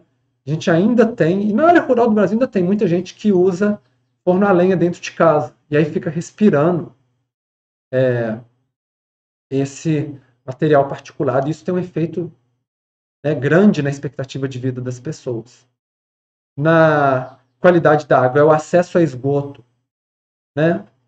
Ao, ao, esgoto e coleta de esgoto, no caso, e a água potável, 50% para cada um, e nos metais pesados a exposição ao chumbo.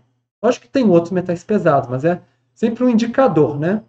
É o, o dado disponível e a gente pensando que ele indica uma tendência geral aos metais pesados, né? Por exemplo. E aí fizeram esse mapa em relação, ao redor do mundo. Os países que estão mais escuros são os que têm maior saúde ambiental, ou seja, as pessoas estão menos expostas né, a esses problemas ambientais. E os países mais claros são os que estão mais expostos. Então a gente vê que a Europa e a América do Norte e a Oceania, principalmente a Austrália, e também o Japão aqui, né, a Coreia, eles estão é, mais, as pessoas estão mais protegidas da sua saúde. A América Latina no meio do caminho, o norte da Ásia também, a Ásia, né? E a África, as pessoas estão muito menos protegidas em relação à sua saúde. Isso vai influenciar na expectativa de vida, é lógico, né? Porque os indicadores são ponderados pela influência na expectativa de vida e então né, a gente vai ter é, um efeito disso nessa né, distribuição no mapa. E vai ter, e alguns países que estão em cinza, aqueles que não têm dados suficientes para que, que pudesse criar o índice. Então a gente vê que existe uma desigualdade né, na proteção em relação a, a principalmente o que a gente falei, a poluição ao ambiente, né, degradante à saúde das pessoas. E se a gente fizer um gráfico colocando o índice de saúde ambiental em 2020 de cada país e a, o PIB per capita, a gente vê justamente essa relação. E quanto maior o índice per capita, melhor a saúde ambiental. Né? Quanto menor o PIB per capita, mais as pessoas estariam expostas às situações que são adversas à saúde devido aos impactos ambientais. E aí, voltando para aquele estudo lá na Europa, eles colocaram o resultado do índice de saúde ambiental de 2010, que é um pouco menos atualizado do que eu mostrei para vocês, né? Seria esse resultado desse índice de saúde ambiental e a percepção dos média dos, do risco que as pessoas estão correndo. Lógico que esse índice aqui também ele vai bater com os países mais ricos do lado de cá, os mais pobres do lado de cá, né? Também, né? Tem esse fator escondido no fundo, mas também tem essa questão de que em geral, né, os, os lugares onde as pessoas estão mais expostas, apareceu que as pessoas são mais expostas a, aos problemas ambientais, elas também tendem a perceber que elas estão mais expostas, né? Então, o indicador objetivo meio que segue essa mesma linha do, da percepção. Mas, assim, os países que estão abaixo são os países que, tão, que acham que estão então, que subestimam esse risco, e os países que estão acima são aqueles que superestimam esses riscos, né? Também tem isso também. A gente tem diferenças culturais, né? De alguns países que tendem a achar que tem mais risco do que percebem, não, que tendem a achar que tem mais risco do que realmente tem, outros que, que vão na direção contrária também. Né?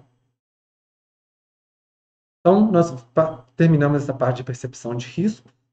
Vamos entrar agora na gestão dos riscos. Como que nós podemos lidar com esses riscos relacionados às tecnologias? Né? Então, para a gestão de risco tecnológico, a gente tem a avaliação dos riscos que estão correndo, o gerenciamento, que é você lidar com eles no dia a dia, e a comunicação e a educação, pensando como estratégia tanto de avisar as pessoas se acontecer um risco, quanto também de informar as pessoas dos riscos que elas estão correndo. E aí vem essa questão da educação, né? pessoas entenderem isso, que a gente chama de educação para o risco. Para avaliação, tem a parte de identificação das ameaças e de ver a probabilidade delas acontecerem, a magnitude, entender qual é o tamanho do impacto possível, né, se acontecer, se materializar a ameaça, pensar a exposição das pessoas, ou seja, quantas pessoas vão estar expostas, ou quantos seres vivos, qual vai ser a área né, que vai ser exposta, e a vulnerabilidade, que nós já conversamos, que é justamente se esse sistema, seja ambiental, social, tecnológico, se ele consegue ser forte para suportar né, esse impacto ou não. Né? E aí, com isso, nós caracterizamos o nosso risco, certo? Fazemos todo um estudo de avaliação para isso. E podemos fazer medidas de redução do risco, que aí entra um pouco no gerenciamento, né? Quando você adota essas medidas de redução do risco, ou planeja elas, aí você refaz o seu ciclo de avaliação. Por exemplo, um outro cenário. Se eu fizer tal coisa, a gente vê probabilidade é esta, magnitude, exposição, vulnerabilidade, e chega no risco. A gente pode sempre reatualizar sempre que faz as medidas de redução de risco.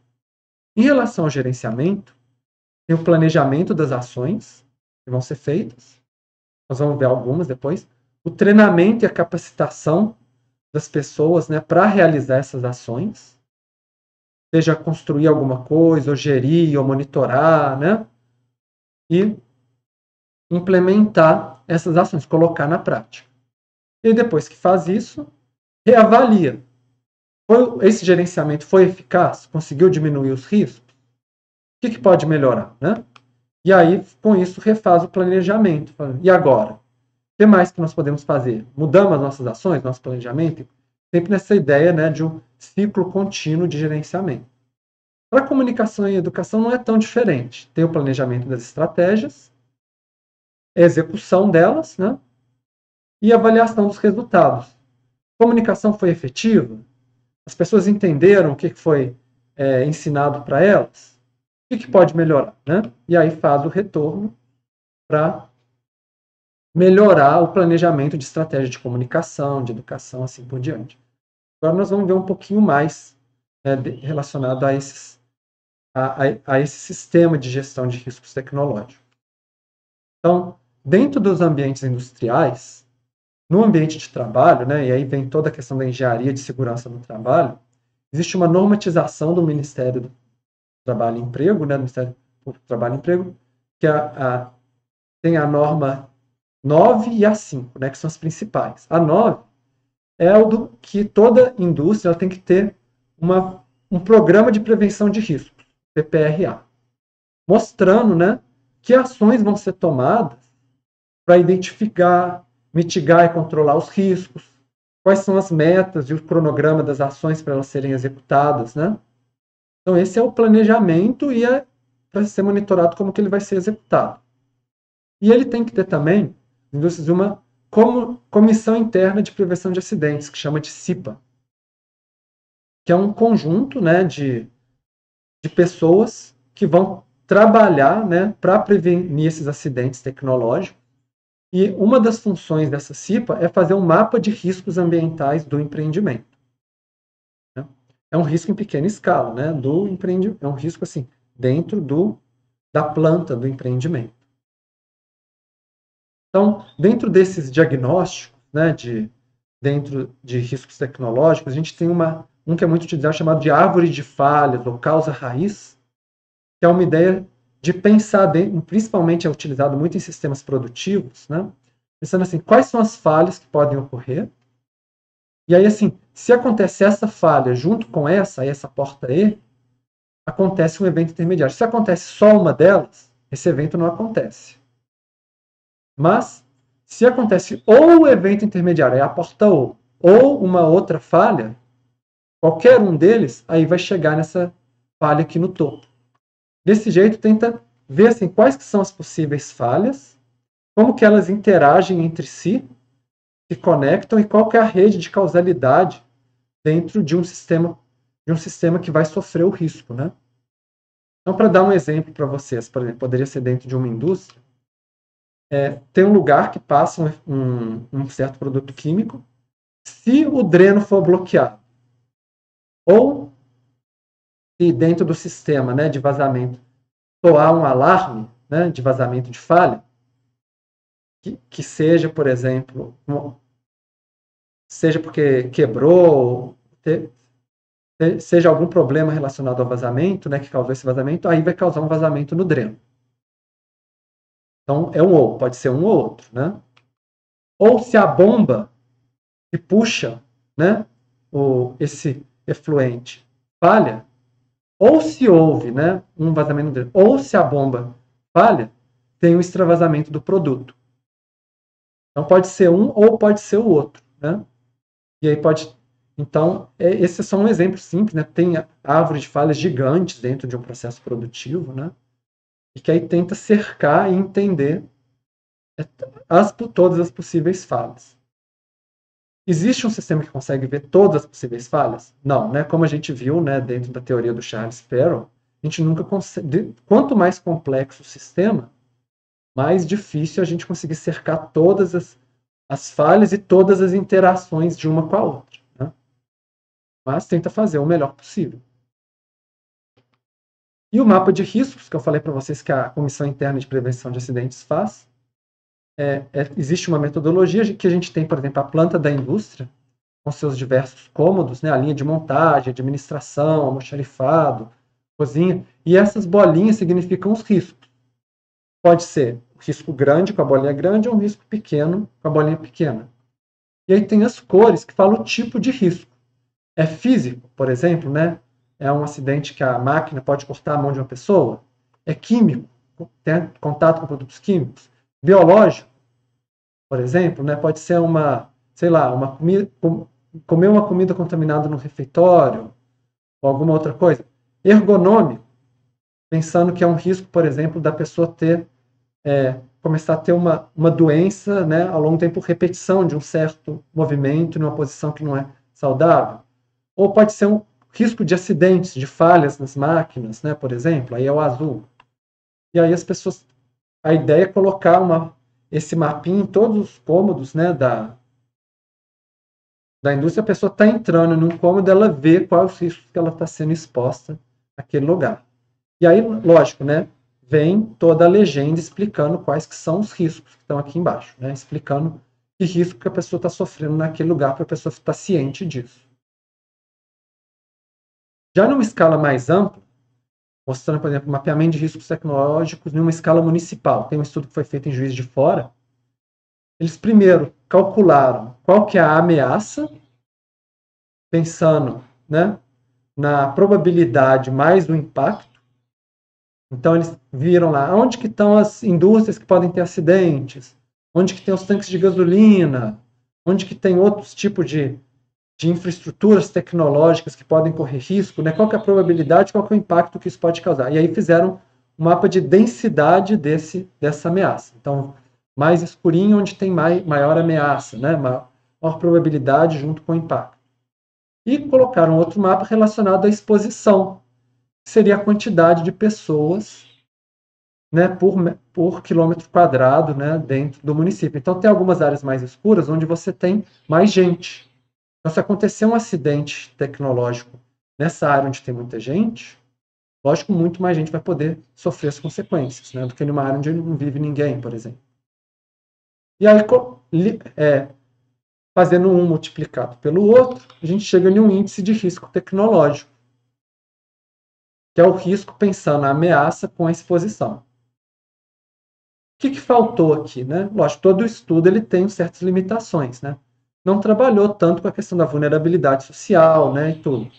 Esse outro exemplo, nós temos também um mapeamento de riscos tecnológicos da de Paranaguá, e eles fizeram também a, a ameaça, que seria a probabilidade, o impacto, né, da mesma forma olhando os, os empreendimentos tecnológicos, onde podia ter os acidentes, tipo de impacto, né, e depois eles colocaram a vulnerabilidade, pensando em características da população que reside em cada um desses locais relacionados onde tem gente mais rica, mais pobre, analfabeta, idosos, crianças, precários, quantas pessoas por domicílio, né?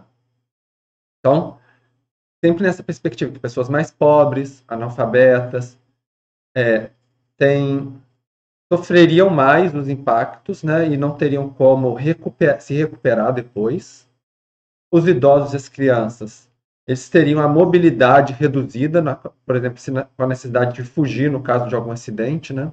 Os assentamentos precários, as casas teriam menos proteção. E também é, sobre essa questão das pessoas por domicílio também, que aí entra tanto um pouco essa questão da densidade, né? Mas ele é um indicador, né? De, é, de pobreza, no caso, né? No número de pessoas que vivem na, no mesmo local. É, então, assim, e aí, quando eles multiplicaram pelo outro, aí chega no risco tecnológico. Então, a gente vê que tem alguns lugares, né? Estão com risco maior, risco menor, e assim por diante. Né? Dependendo das características do local, da vulnerabilidade. Eu mostrei um exemplo para vocês com exposição, outro com vulnerabilidade, né? A gente pega a ameaça e pensa nas características das pessoas que vivem no lugar. Daria para fazer um juntando os três também, né? Ameaça vezes vulnerabilidade vezes exposição, por exemplo, né? Para chegar no risco. Ia ser um, um índice de risco mais complexo. E, bom, mas aí é, fica como exemplo para vocês, né?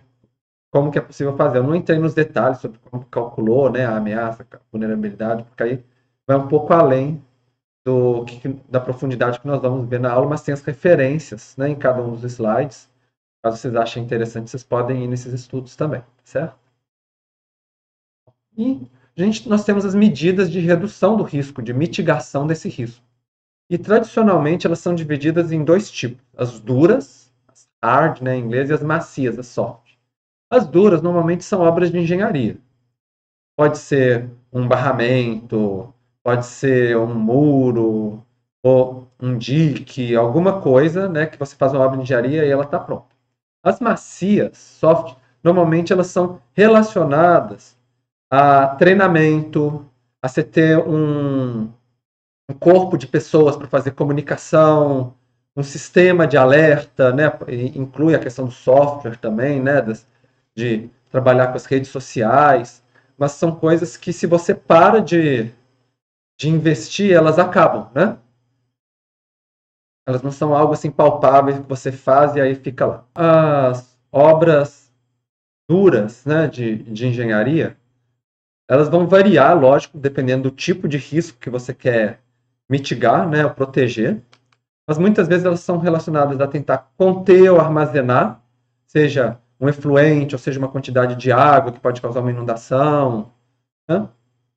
ao isolamento, com essa ideia assim, de que se você tem pessoas que poderiam sofrer esse dano, você cria algo para isolar, para o impacto não chegar nessas pessoas. Pode ser um muro, um dique, pode ser uma barreira de árvores para não deixar o vento, né, com a poluição chegar, é, chegar numa outra poluição, ou, ou para fazer uma barreira de som, por exemplo, também. Tem, são, existem obras de transferência e de drenagem, que é você pegar o, o que causaria o impacto e e mudar ele para outro lugar, levar para direcionar para outro local, né? Para não atingir é, um objeto, um elemento, né, importante, seja pessoas, ecossistemas, assim por diante, um rio, né? Ou pode ser a remoção, por exemplo, a remoção das pessoas que vivem no local. Você tira fora as casas de todo mundo e constrói a casa para essas pessoas em outro lugar. Aí você retira, né? Quem estaria sofrendo o risco de ser atingido e coloca essas pessoas em outro lugar. Claro que essa remoção muitas vezes ela é polêmica, né? Porque muitas vezes a pessoa está acostumada a viver ali, já fica ali perto do trabalho, da família, e aí você muda ela de lugar, uma mudança muito brusca, que muitas vezes piora a qualidade de vida das pessoas também. E nós temos as medidas macias, para dar uns exemplos para vocês, né? sistemas de monitoramento e de alerta, né? caso esteja para acontecer um risco é, medidas, estratégias de educação e de comunicação com as pessoas, capacitação das equipes que trabalham, né, e também capacitação das pessoas em geral sobre como lidar se acontecer um acidente, e a gestão e o planejamento, né, de ter, por exemplo, uma equipe de gestão que trabalha junto, que pensa sobre o que está acontecendo, propõe mudanças. Né? E, e aí vem essa coisa, normalmente a, a, o governo, as empresas, eles têm um recurso limitado e têm que escolher se vão direcionar para as obras de engenharia ou para as ou para as medidas mais macias, né? E aí qual que é a qual que seriam as vantagens de cada um? Para as obras de engenharia, é, elas têm a vantagem do que a gente chama de baixos riscos residuais, ou seja, depois que você fez a obra, você praticamente contornou uma grande parte do risco e aí para o futuro esse risco já vai estar contido, né? Por enquanto a obra estiver ali de pé, né, funcionando. O problema é que normalmente essas obras são muito caras, né?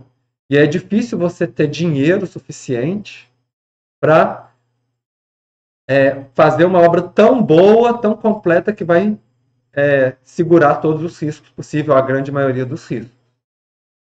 Já as medidas macias, elas têm um melhor custo-benefício. Tem alguns, algumas simulações, algumas meta-revisões né, que pegam diversos casos ao longo do mundo que mostram né, essa evidência de que o tanto que você gasta em relação ao tanto de dano que você consegue evitar com medidas macias é ma maior do que com obras de engenharia. Qual que é a desvantagem? A desvantagem é que se de repente você para de investir, aí você você para de ter esse ganho, né? Mesmo que ele tenha um custo-benefício maior, pensando mesmo a longo prazo. E aí uma coisa difícil, né? É porque muitas vezes é, as empresas do governo eles acham mais é, bonito você fazer uma grande obra que todo mundo vê e aí você consegue divulgar, né? Mostrar visualmente do que você ficar investindo numa, nessa coisa meio invisível das medidas macias. E aí que, e, e, principalmente acontece isso que, por exemplo, depois de uma de um grande acidente, aí começa a investir nas medidas macias porque via que era importante. Aí vai passando os anos, o pessoal vai considerando assim, ah, será que é tão importante isso mesmo? Aí começa a diminuir o recurso, e aí de repente acaba. E aí depois de um tempo sem ter as medidas macias, aí vem o acidente de novo e dá problema tudo de novo. Então, assim, se todo mundo fosse muito atento né, à, à questão da gestão de riscos, é, geralmente se aconselha a investir mais em medidas macias, porque elas são muito importantes e muitas vezes elas são relegadas, né? As pessoas dão pouca, menos prioridade do que seria necessário. Só que é preciso também entender isso, né? Que, que é preciso assegurar esse investimento constante ao longo do tempo nessas medidas também. E em relação à comunicação de risco, né? já vimos, então, diagnóstico, gestão, as medidas mitigadoras. Agora, em relação à comunicação, é, existe um, um, diagrama né, que normalmente é, é colocado para comunicação, principalmente em relação a risco, que ela tem esses dois eixos. Um que é a questão se ele é normativo, a estratégia é normativa ou instrumental. O normativo é aquela que você parte do princípio as pessoas não sabem ainda o que é melhor para ela, e aí você vai falar para elas: olha, é importante você fazer isso, é importante você ter esses valores, é importante você se comportar de uma determinada maneira, você valorizar isso, valorizar aquilo, né? E o instrumental, você dá as informações, você dá os, a, capa, a oportunidade das pessoas é, pegarem essa informação e refletirem e analisarem a situação onde elas estão e deixa as pessoas tomarem a sua decisão e formularem os seus juízos depois sobre o que é mais importante ou não. Então, uma você está falando que é melhor, outra você está dando os instrumentos para a pessoa, com esses instrumentos, né, tentar achar o que é melhor para ela. O outro eixo que já está no eixo horizontal é o não engajado ou engajamento. A, a estratégia não engajada, ela já assume as pessoas consideram essa questão do risco relevante e que só precisam da informação, da comunicação. E aí, quando você passar isso para elas, as pessoas já vão confiar em você, inclusive, né? Vão falar assim: ó, oh, que bom, muito obrigado, agora eu já tenho como agir, porque você me deu a informação, a comunicação que eu precisava. Já o, a estratégia de engajamento é quando considera que as pessoas não estão valorizando o suficiente essa questão de risco e que precisa é, trazer isso para as pessoas. Por que, que isso é importante? Motivar as pessoas né, a tomar, fazer ações para não se envolver em risco, para se lidar melhor com risco, assim por diante. Então já entra um aspecto motivacional né, na estratégia de comunicação. Então esses quatro quadrantes eles vão gerar né, estratégias diferentes, combinando essas, esses dois eixos. Por exemplo, o instrumental e não engajado, poderíamos falar que é uma função de redução de risco. Então, é basicamente você informar para a pessoa, falando assim: olha, você não sabia, mas eu estou te falando aqui que o risco dessa ação é tal. Aí a pessoa pega, reflete e toma a sua ação, né, do que, que ela quer. É, no não engajado e normativo é o que costuma chamar de função de iluminação. É aquela hora que você lê um texto assim, falando sobre risco, e fala, nossa, isso mudou minha vida. Né? Se me mostrou coisas que eram importantes que eu não sabia. Pode ser essa aula, né? não, quem sabe, né? É muita pretensão, né? Mas, é, mas assim, é algo que, que você está mostrando para as pessoas, né? Falando assim, olha, façam isso. E aí as pessoas fazem, né? Assim, é verdade, isso é coerente, era isso que eu estava precisando, né? É, entender, né? É, bom, no outro quadrante, que é o normativo e de engajamento, é, é muito mais forte essa questão da construção da confiança. Né? Pensando assim que precisa ganhar confiança do público para eles acreditarem, né, que olha, isso aqui é relevante, né? Pensando assim que muitas vezes as pessoas ouvem não estão nem aí, né, não acham que que é digno, né, de prestar atenção ou de levar em consideração, né, o que está sendo comunicado. Então, é, é, eles entram nessa estratégia muito forte de aumentar a confiabilidade, né, do, da comunicação, como algo que vai fazer as pessoas é, darem mais importância para essas mensagens, para essa comunicação. E o instrumental de engajamento, muito relacionado a abordagens participativas, né? principalmente o que chama de decisão cooperativa, é botar as pessoas juntas para conversar entre si, dialogar, né? e aí né, nesse diálogo, né, trazer as informações para as pessoas e colocar em debate, em negociação, pensando que o importante seria as pessoas entrarem em um consenso de grupo e aí com esse consenso de grupo vão tomar ações em grupo para diminuir o risco, para lidar melhor com as questões de risco. Certo? Então nós temos né, todas essas opções e eu não estou falando que uma é melhor do que a outra, tudo, mas muitas vezes elas vão se adaptar a situações diferentes também e a momentos diferentes, né? É. Um modelo que é muito utilizado na, para as estratégias de comunicação de risco é o que a gente chama de modelos mentais. Então, normalmente se constrói, né, com forma de diagramas ou de, ou de, de informações sobre risco, por exemplo, qual que é o modelo mental dos especialistas. Então, normalmente, o que faz? Começa a fazer entrevistas abertas com especialistas para entender como que eles pensam em relação a uma questão de risco. Também pode ser não só a entrevista, mas pode ser, por exemplo, lendo literatura sobre o assunto, né, como os especialistas de uma área escrevem e, e pensam sobre uma questão de um, um certo determinado risco. Em seguida, faz uma comparação com a construção de um modelo mental do público-alvo. Também nessa forma de entrevistas abertas. Quando eu falo público, pode ser a população em geral, pode ser, por exemplo, um grupo de tomadores de decisão, né, que precisa ser melhor comunicado e informado em relação aos riscos, por exemplo.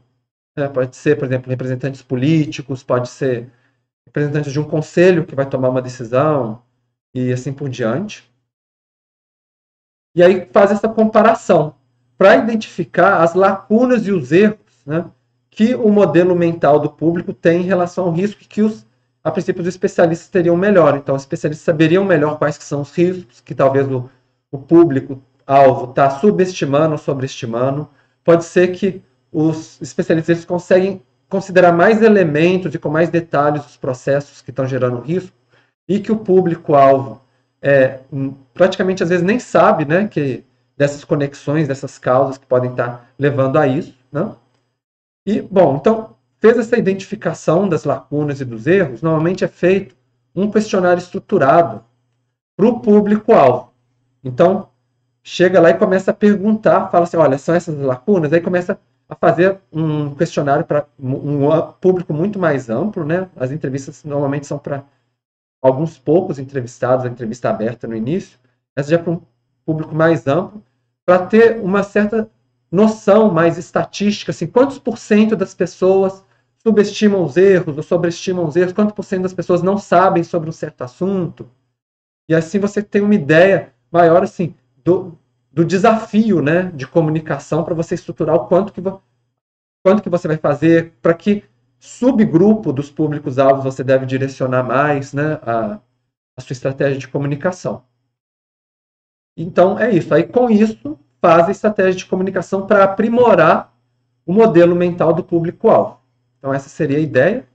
Em seguida, avalia a efetividade da comunicação. Eu tinha falado para vocês, né? Faz a comunicação e avalia. O pessoal conseguiu entender bem?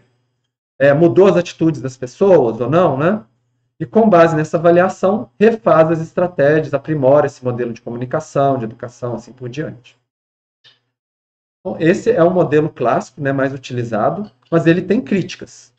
Primeiro, considera que o conhecimento dos especialistas é sempre válido e o que da população ou do público-alvo é sempre ruim. Né? E com isso ele não propicia esse diálogo, porque muitas vezes pode ser que a pessoa que está vivenciando o risco, trabalhando com, vivendo ele no dia a dia, pode ter conhecimentos que os especialistas, né, que estão só, por exemplo, nas universidades ou nos órgãos técnicos, eles não estão vivendo isso no dia a dia. Então, é, essa questão do diálogo, do conhecimento da população e do conhecimento dos especialistas, né, é algo que nas últimas décadas tem sido mais valorizado, né, não só um, um, uma estratégia de comunicação, de educação que vai de cima para baixo, né, o especialista que fala para o comunicador, que fala para a população, por exemplo. Né? E uma outra questão é que ele não considera que a questão da aceitação do risco ela envolve valores né? éticos, morais, financeiros, e não só uma probabilidade de risco que um especialista técnico vai informar. Então, a pessoa que está lá vivenciando o risco, que precisa tomar decisões no seu dia a dia, ela pode ter valores éticos, morais ou questões financeiras uma visão de mundo, né, com esses aspectos que é diferente do especialista. Então, é, é, às vezes é uma situação muito mais complexa do que simplesmente falar assim, olha, o risco é esse, então sai daqui, não, não, não, não corre mais esse risco, né? Tem, tem muitas outras coisas que estão envolvidas. E nós vimos um pouco isso quando nós vimos no início da aula a parte de percepção dos riscos também, né? Como que é, é, é bem mais complexo, né, para a pessoa perceber o risco, perceber os benefícios e tomar suas decisões. Então, nós chegamos nessa última parte do nosso vídeo, da nossa aula, é sobre as questões do diálogo ético e político para as decisões relacionadas aos riscos. Existe um grupo de pesquisadores muito ligado à área da filosofia, que trabalham a ética ligada ao risco tecnológico, e eles colocam de uma maneira muito enfática que não dá para reduzir a análise de risco simplesmente a um raciocínio lógico aquela questão assim de calcular a probabilidade, a magnitude, e, ou então ver essa questão, uma questão matemática assim de qual que é o custo, qual que é o benefício, aí todo mundo vai escolher exatamente aquela alternativa que diminui o custo, aumenta o benefício, igual em algumas modelagens econômicas. E que, na verdade, é bem mais complexo do que isso, a análise de risco. Principalmente porque a escolha dos limites de você aceitar correr um risco ou não ela envolve valores morais, valores éticos, e que eles precisam ser debatidos. Porque é, podem ter valores que, por exemplo, podem não ser benéficos para a sociedade, e que pro, tá, provavelmente pela reflexão e pelo debate é possível aprimorar né, a maneira como as pessoas valorizam determinadas coisas. Então, dando um exemplo, é, a pessoa pode tomar uma decisão sobre aceitar ou não um determinado limite de risco baseado simplesmente numa escolha individual, que vai ter de custo-benefício para ela. Já outras pessoas podem questionar isso.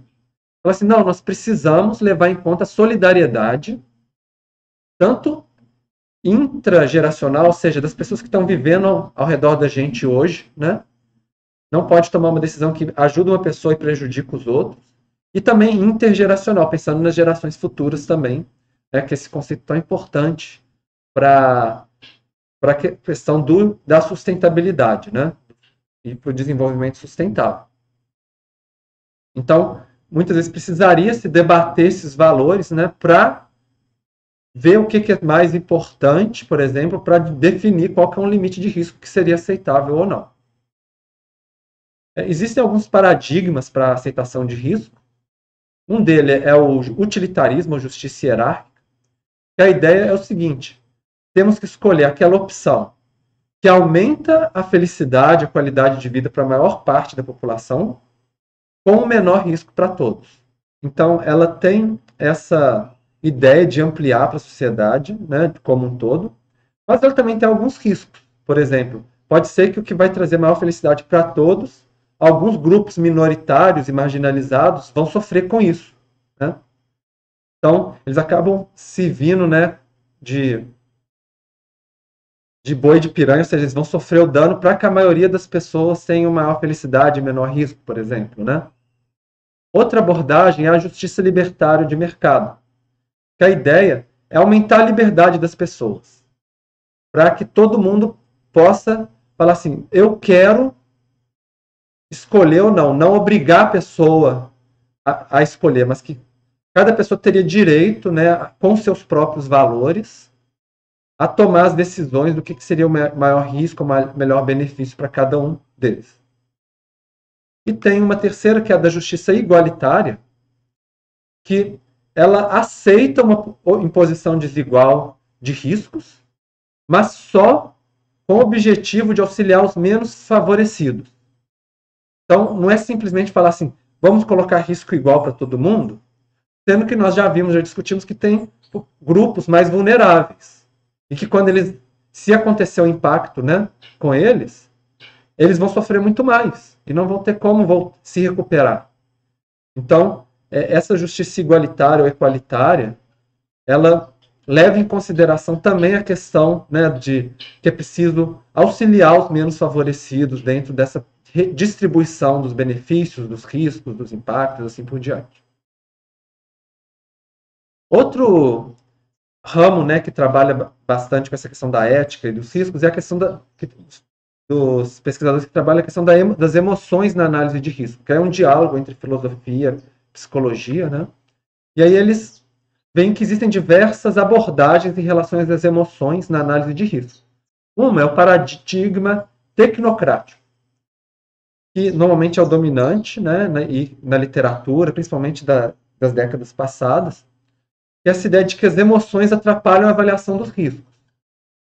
De que se a pessoa pensar bem, não deixar as emoções atrapalharem, agir mais racionalmente, ela vai conseguir lidar melhor com os riscos. Ela vai avaliar né, melhor as chances né, de ter o um impacto, a magnitude, não vai se deixar levar né, pelo calor das emoções na hora. Né? É, então, muito, muitos né, é, pesquisadores mais da abordagem técnica, de modelagem, de comunicação mais tradicional, eles se enquadram nesse paradigma tecnocrático. Tem um outro que é o paradigma populista, que normalmente ele é utilizado pelos representantes políticos. Então, que é o seguinte, é, deve-se deve usar as emoções né, da população como um termômetro sobre como para que você vai tomar suas decisões. Pra, dá para pensar na questão política, por que isso? Porque depois as pessoas que vão votar no político, né, que vai tomar a decisão. então ele vai medir assim naquela calculadora de votos, né? Ó, agora está todo mundo alvoroçado com isso, vamos fazer uma medida para reduzir o risco em relação a isso. Acontecer um grande acidente, então vamos criar uma nova norma ou vamos fazer um novo programa político para mitigar esse risco. E aí vai utilizando as emoções da população como a referência né, para tomar as ações sobre, em questão ao risco. Tem um outro paradigma que é o do marketing emocional do risco. Que é a ideia de que seria possível manipular as percepções de risco das pessoas por meio de mensagens emocionais, por exemplo, uma propaganda, um discurso, né? é, uma palestra, assim por diante, para falar assim: olha, gente, preocupem-se mais em relação a isso. Ah, não, gente, preocupem-se menos, está tudo bem. E muitas vezes pode ter, pode ter fins tanto econômicos, por exemplo, uma empresa quer convencer as pessoas que moram no local de que não tem risco, por exemplo, de acontecer um acidente. Pode ter fins políticos também. É, por exemplo, né, é, um partido de oposição vai querer convencer a população de que o governo tomou, o governo de situação tomou uma posição que aumenta os riscos, por exemplo. E aí vai fazendo toda uma, uma estratégia né, de para mostrar para a população, para mudar a opinião da população em relação a alguma coisa. E também tem por afins humanitários também.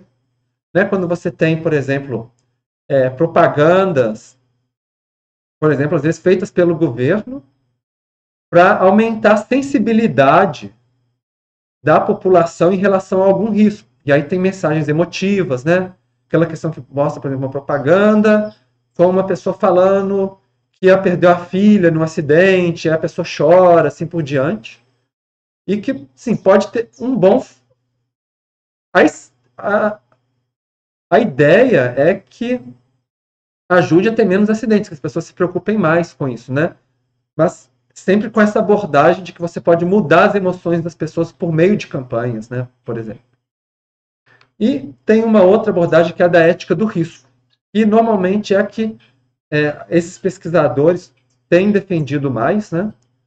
Que lembra que as emoções elas são bases para o julgamento moral e antimoral. Então, aí que se conecta as emoções da ética, né? Por exemplo, você só vai ter solidariedade, tanto na geração presente quanto no futuro, se você tiver empatia pelas outras pessoas. Então, essas emoções de empatia, de solidariedade, elas são importantes elas são a base para diversos valores éticos que nós vamos utilizar para tomar as decisões relacionadas ao risco. Dessa forma, se você não valoriza essas emoções, você não vai ter é, o, a base para que tome uma decisão ética relacionada a uma certa questão de risco. E a outra questão também importante das emoções é que elas mostram assim, o interesse das pessoas para que seja mitigado o risco. É um pouco esse desse, o que é importante para nós, né? Isso está na base das nossas emoções também. E é com base no que é importante para nós, o que é mais importante, que nós vamos avaliar os benefícios e os riscos, né? De perder o que é importante, ou de ganhar o que é importante, e por diante.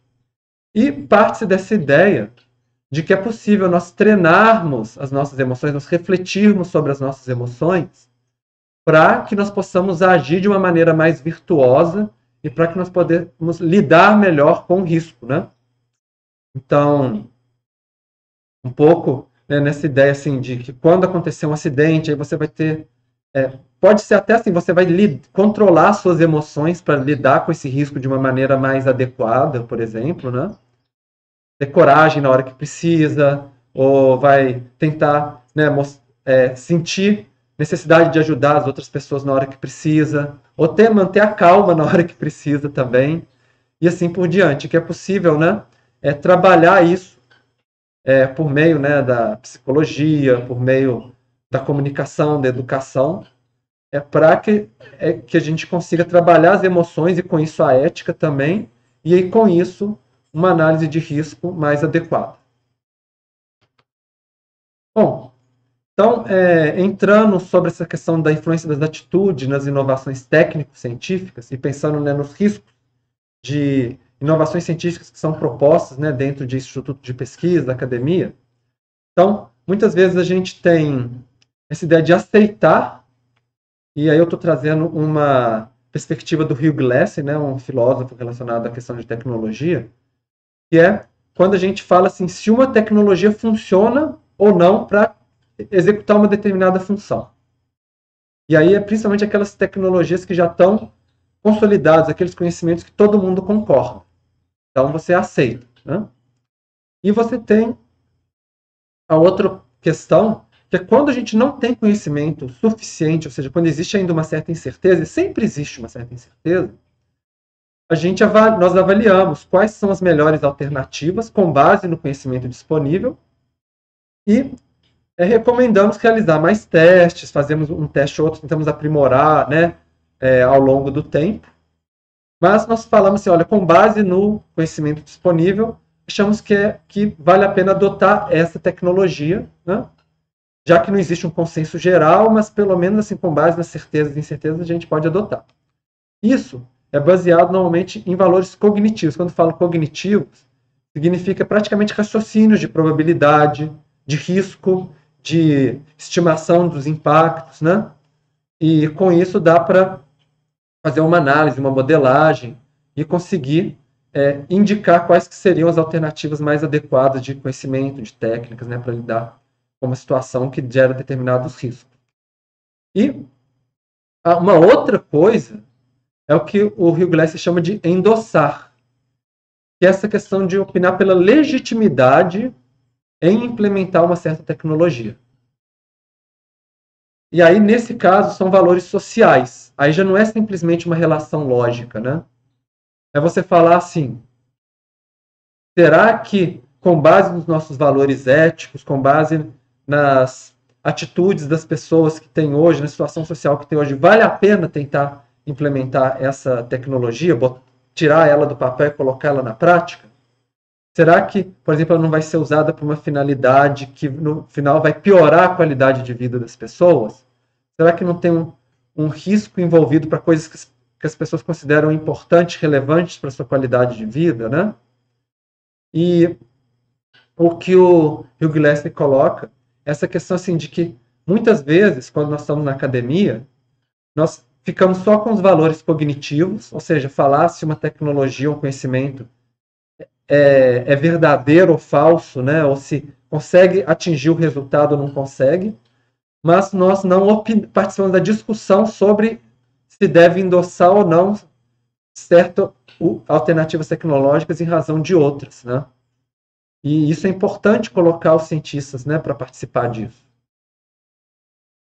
Então, aí ele entra, o Rui Glass entra nessa questão da responsabilidade na ciência, dos cientistas, dos pesquisadores. Primeiro, é, tem essa questão do delineamento da estratégia de pesquisa. Então, é uma ideia assim, que para você criar sua metodologia de pesquisa, a princípio você deveria tentar ser imparcial. Ou seja, você tenta fazer os seus experimentos, os seus testes, para ver o resultado e aí depois você avaliar se é bom ou não. Se você é, meio que conduzir a sua metodologia de uma maneira que atenda certos interesses de determinados grupos, então a sua metodologia já não é boa, né? E a ideia que o Glass coloca é uma proposta de utilizar o máximo de conhecimento humano disponível. Não fazer simplesmente, por exemplo, abordagens disciplinares que pegam só um aspecto, por exemplo, só um teste relacionado a questões de engenharia civil, por exemplo. E numa questão que os riscos envolveriam, por exemplo, as atitudes das pessoas, os comportamentos das pessoas, que seria importante dialogar, por exemplo, com a psicologia. Então, é, quanto mais amplo for a perspectiva de diferentes tipos de conhecimento dialogando entre si numa estratégia de pesquisa, melhor vai ser o resultado né, de um conhecimento que vai ser utilizado. É, aí tem a questão da aceitação da teoria, que a gente já conversou, né, que a princípio seriam os valores cognitivos, pensando nessa imparcialidade, né, nós queremos ver os resultados, né, para ver se vale a pena aceitar, se não vale a pena aceitar, né? E, e depois tem a questão da publicação dos resultados. E aí, nessa publicação, seria muito importante não falar simplesmente o resultado do seu, do seu experimento, mas também fazer reflexões ao fim sobre as implicações éticas de aplicar essas tecnologias.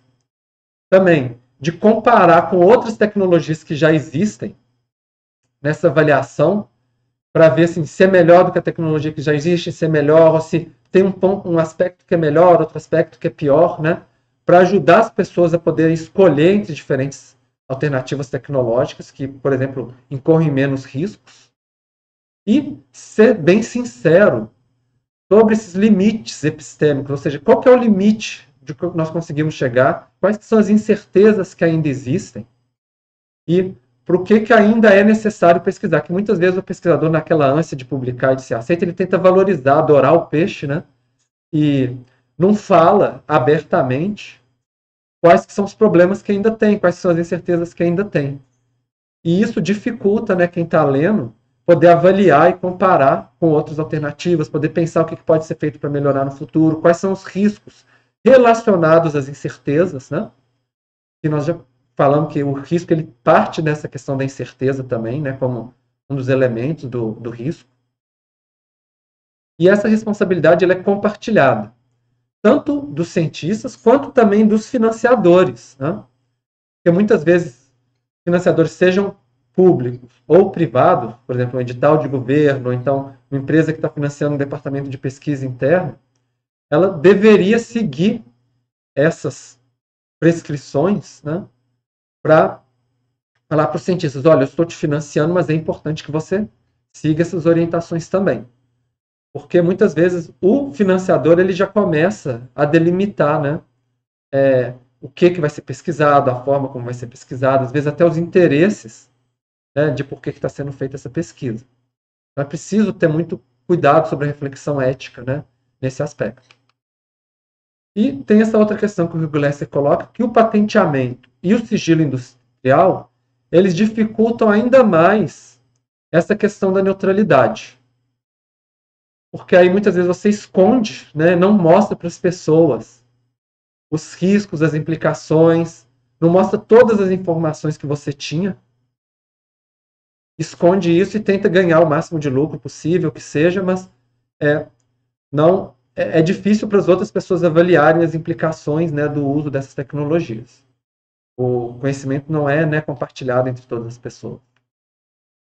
E aí vem essa questão da avaliação do risco. Antes da pesquisa de risco, é, normalmente a gente pensa assim, quais são os riscos identificados? Vocês fizeram né, aquela identificação dos impactos, nós podemos pensar das identificações dos riscos, né? Esses são valores cognitivos, é tentar criar aquelas redes de causalidade. Eu mostrei para vocês né, aquela, aqueles fluxogramas da raiz que mostram uma falha aqui, que junta com a outra, o que, que é possível de ser acontecido. Isso é um raciocínio né, bastante aplicado, um raciocínio técnico. Né? Depois, vem essa questão assim, identificamos muitos riscos, mas nós não temos dinheiro para investigar em detalhe todos esses riscos. Então, quais riscos que vão ser investigados? Aí entra valores sociais. O que, que é mais importante para uma sociedade ou para um determinado grupo, né? e que aí vai direcionar eles a investigarem mais desses determinados riscos e não identificar tanto outros riscos que são menos importantes para eles, de assuntos que são que não são tão relevantes assim para esse grupo. E aí depois que foi feita a avaliação de risco, diagnóstico, entra a etapa né, de pegar os resultados e fazer essa avaliação desse modelo de risco. Aí muitas vezes é aquela questão de avaliar probabilidade, avaliar magnitude, extensão, que também é uma avaliação técnica, cognitiva, né, matemática, né, do, do risco envolvido. Depois vem essa outra questão que aí já entra os valores sociais, assim, qual dentro desse, desse risco, qual que é o limite de risco tolerável que nós queremos?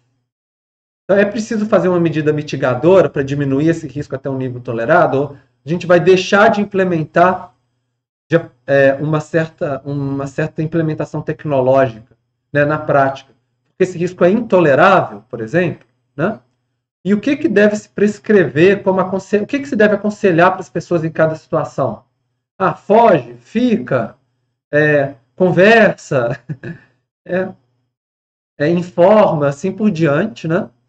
E isso entra tanto alguns valores cognitivos, porque vai usar os resultados do modelo, mas também vai entrar questões sociais. Porque quando você está aconselhando para uma pessoa, você tem que levar em consideração o mundo onde essa pessoa vive, os valores dessa pessoa, né? o que, que essa pessoa espera né, de receber de ajuda ou não. Né?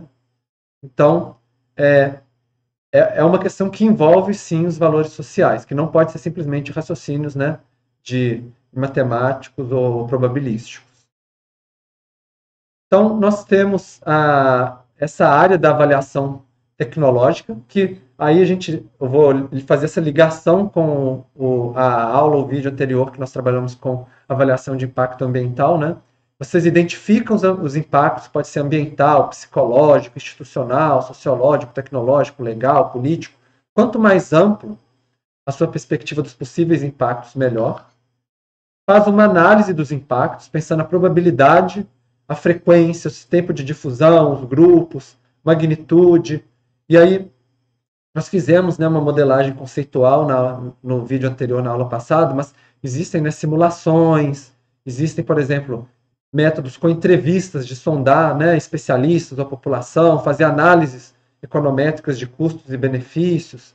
Tem várias possibilidades, vários métodos faz depois uma valoração do impacto, e aí quando eu falo valoração, não é só a parte econômica, mas é, é para pensar se todos os benefícios possíveis e que leva a pessoa a aceitar ou não a correr um risco, e que é importante né, comparar com essas preferências e os padrões sociais ou naturais. Pensando assim, em uma situação normal, né, as pessoas já correm esse risco ou não? É, pensando no normal, tanto do ponto de vista dos processos do ambiente, quanto a situação que está a sociedade, né, por exemplo. E depois vem a questão da gestão, que é justamente pegar todas essas informações e pensar como que a gente pode assessorar as pessoas que vão tomar uma decisão. Pode ser tanto a decisão do político quanto a decisão da pessoa que mora numa casa, num assentamento precário, que tem que saber se ela vai abandonar ou não aquela casa naquele momento, por exemplo, né? E aí é, fica essa questão de como construir uma melhor estratégia, né? Para é, assessorar as pessoas que vão tomar decisões relacionadas aos riscos. Tem algumas polêmicas nessa avaliação tecnológica. É, eu falei para vocês assim que, por exemplo, pegando aquele princípio da utilidade, maximizar o bem para todos, pode causar um dano para minorias, né? Para atingir o bem da maioria. Tem essa questão de, da violação intergeracional, que normalmente quem está tomando a decisão nesse momento pensa mais na, na, sua situação e não pensa tanto na situação das gerações futuras. E as crianças, as pessoas que ainda não nasceram, elas não têm como se defender né, em relação a isso. E muitas vezes tem essa confusão entre o normal e o moral. E aí é interessante a gente pegar aquela reflexão do Charles Sparrow, né, no, no, do início da aula, da normalização de riscos, e que, na verdade, se você for olhar, eles são moralmente inaceitáveis, né? Eles são injustos, mas que as pessoas acabam aceitando. E essa questão de que muitas vezes é o produtor que ele é responsável por controlar o próprio risco.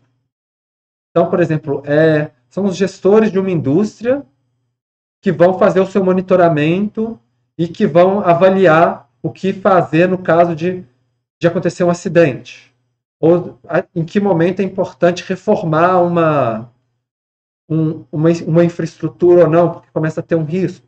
Ele pensa, será que isso não levaria, será que teria imparcialidade ou seria parcialidade nisso? Que na hora de fazer o controle, tomar essas decisões, né, já não estaria enviesado já para geração de lucro no curto prazo, por exemplo, e de levar as externalidades né, para outros grupos que, que vão sofrer o impacto e a empresa não vai pagar? e um pouco essa ideia de que será que a culpa, né, ela depende de intenção? Ou seja, quando a gente trabalha com risco, né, muitas vezes a pessoa fala, ah, eu não queria que isso acontecesse, mas aconteceu, né?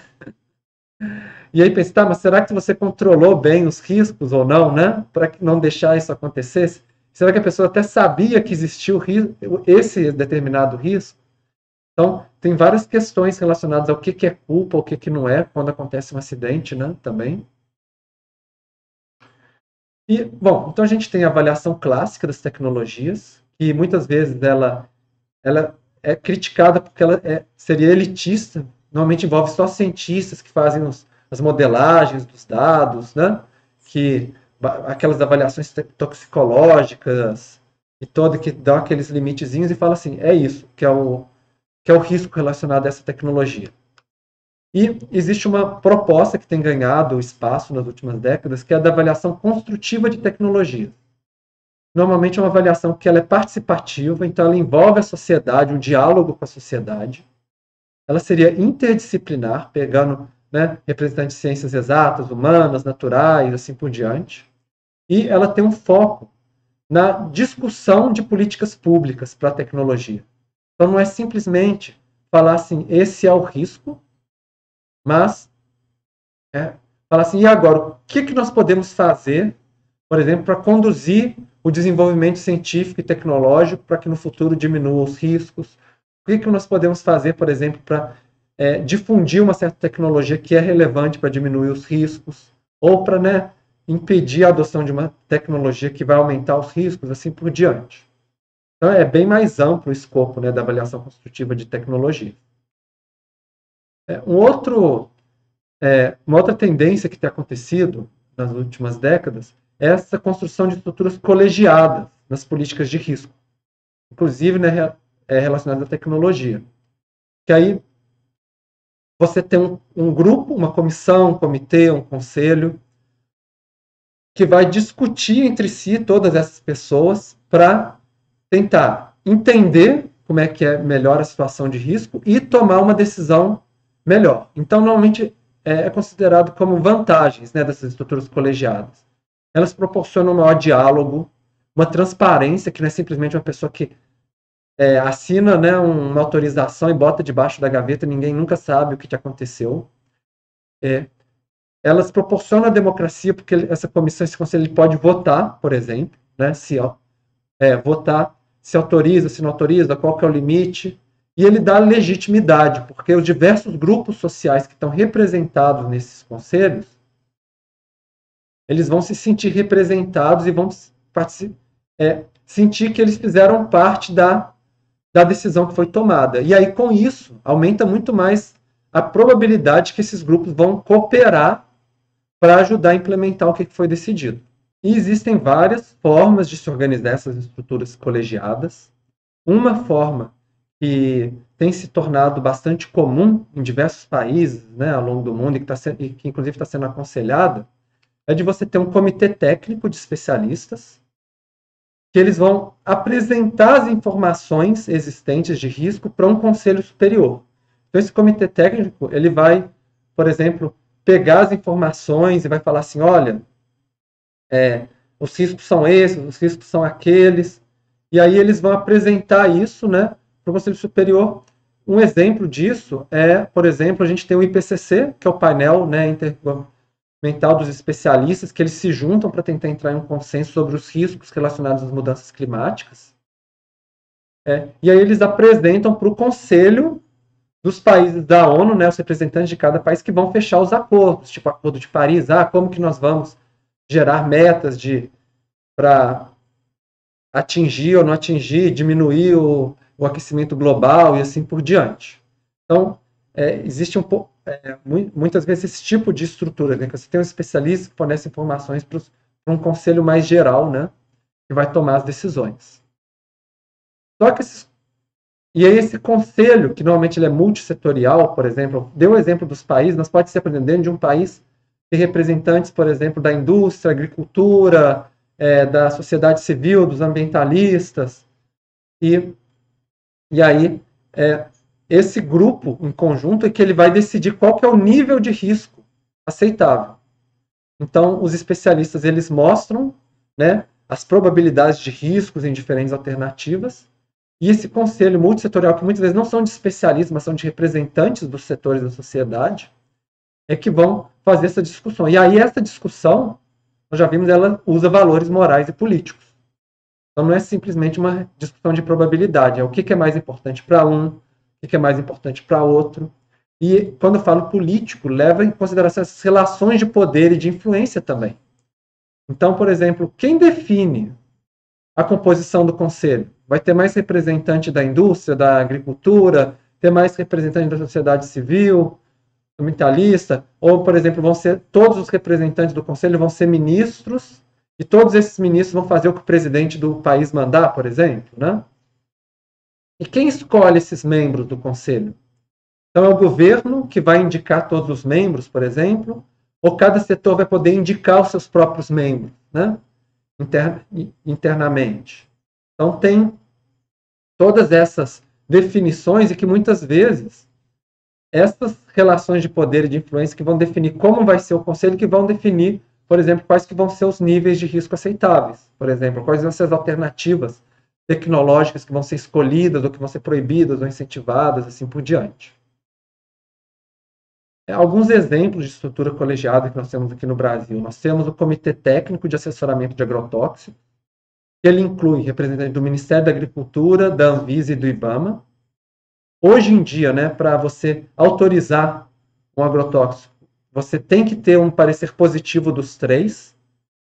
Primeiro, tem um, um parecer positivo dos três, que seriam os corpos técnicos, mas aí é o ministro de Agricultura que tem a decisão política de autorizar ou não né? mas precisa ter o parecer positivo. E, atualmente, nós temos, passando no Congresso, um projeto de lei para modificar essa estrutura. E aí a gente vê as questões das relações políticas e de influência, é, para que a Anvisa e o IBAMA se tornem somente consultivos, ou seja, eles passam as informações para o Ministério da Agricultura e o Ministério da Agricultura define sozinho. E alguns chamam né, esse, esse projeto de lei um PL do veneno, né, pensando assim que vai mudar esses interesses né, de quem define ou não o que, que pode ou não usar no Brasil. Né? Então, às vezes, vai ter menos poder né, de influência nas questões ambientais, nas questões de saúde pública, já que a Anvisa e o IBAMA passam a ter menos poder não, de, é, de poder autorizar ou não né, a, no, novos agrotóxicos no país. Outro exemplo é o Conselho Nacional de Saúde. É um conselho geral, né, que faz regulamentos para diversos conselhos menores. E aí, só para trazer alguns deles, tem a Comissão Intersetorial de Vigilância e Saúde, que vai trabalhar com essa questão de vigilância sanitária, de vigilância epidemiológica, de riscos também, né? É, o que está acontecendo? Está espalhando uma doença ou não, uma contaminação ou não, né? E ter o Conselho Nacional de Ética e Pesquisa, que está muito relacionado com a questão das pesquisas nas universidades, principalmente na área de saúde, mas que está expandido cada vez mais para todos os tipos de pesquisas que envolvam seres humanos. Talvez alguns de vocês, né, vocês devem ter, por exemplo, submetido nas universidades, por exemplo, o Comitê de Ética e Pesquisa, né, aqui que a gente tem aqui no FABC, se vocês estão trabalhando com questionários. E... O Comitê de Ética e Pesquisa da UFABC ele é uma instância do Conselho Nacional de Ética e Pesquisa. Então, ele obedece às regulações do Conselho Nacional de Ética e Pesquisa, e se tiver um caso muito polêmico, né, ele pode ser levado também para as instâncias superiores. CONEP, Conselho Nacional de Saúde, assim por diante. Então, é, tem essa estrutura de diversos níveis de conselho, né? pensando que o mais local é aquele que conhece melhor as coisas que estão acontecendo no local, mas os outros superiores mais amplos, eles são mais legítimos por, por envolver representantes de setores diferentes também.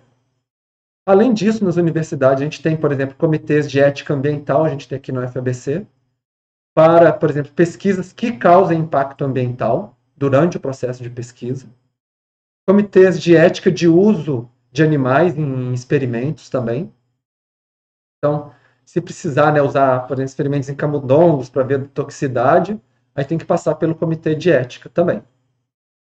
E que sempre essa ideia de que é melhor ter uma estrutura colegiada de, de, de pares ou de representantes de diversos setores que conversam entre si do que simplesmente, por exemplo, ser alguém que fala autorizo ou não autorizo, né? É, por todos esses motivos, né, que nós já conversamos. Bom, então nós vamos para a nossa última atividade dessa semana, que é para vocês descreverem uma estratégia de investigação científica sobre os riscos e impactos de duas opções.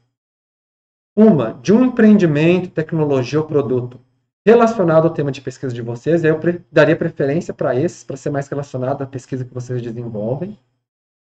Ou, se vocês acharem que não tem nenhum empreendimento, tecnologia ou produto que bate com o tema de pesquisa de vocês, vocês podem fazer só para dar uma sugestão de um novo agrotóxico. Então, vai, vai ter um novo agrotóxico que precisa fazer um estudo, uma avaliação sobre os riscos e os impactos. Então, como que seria feito? Né?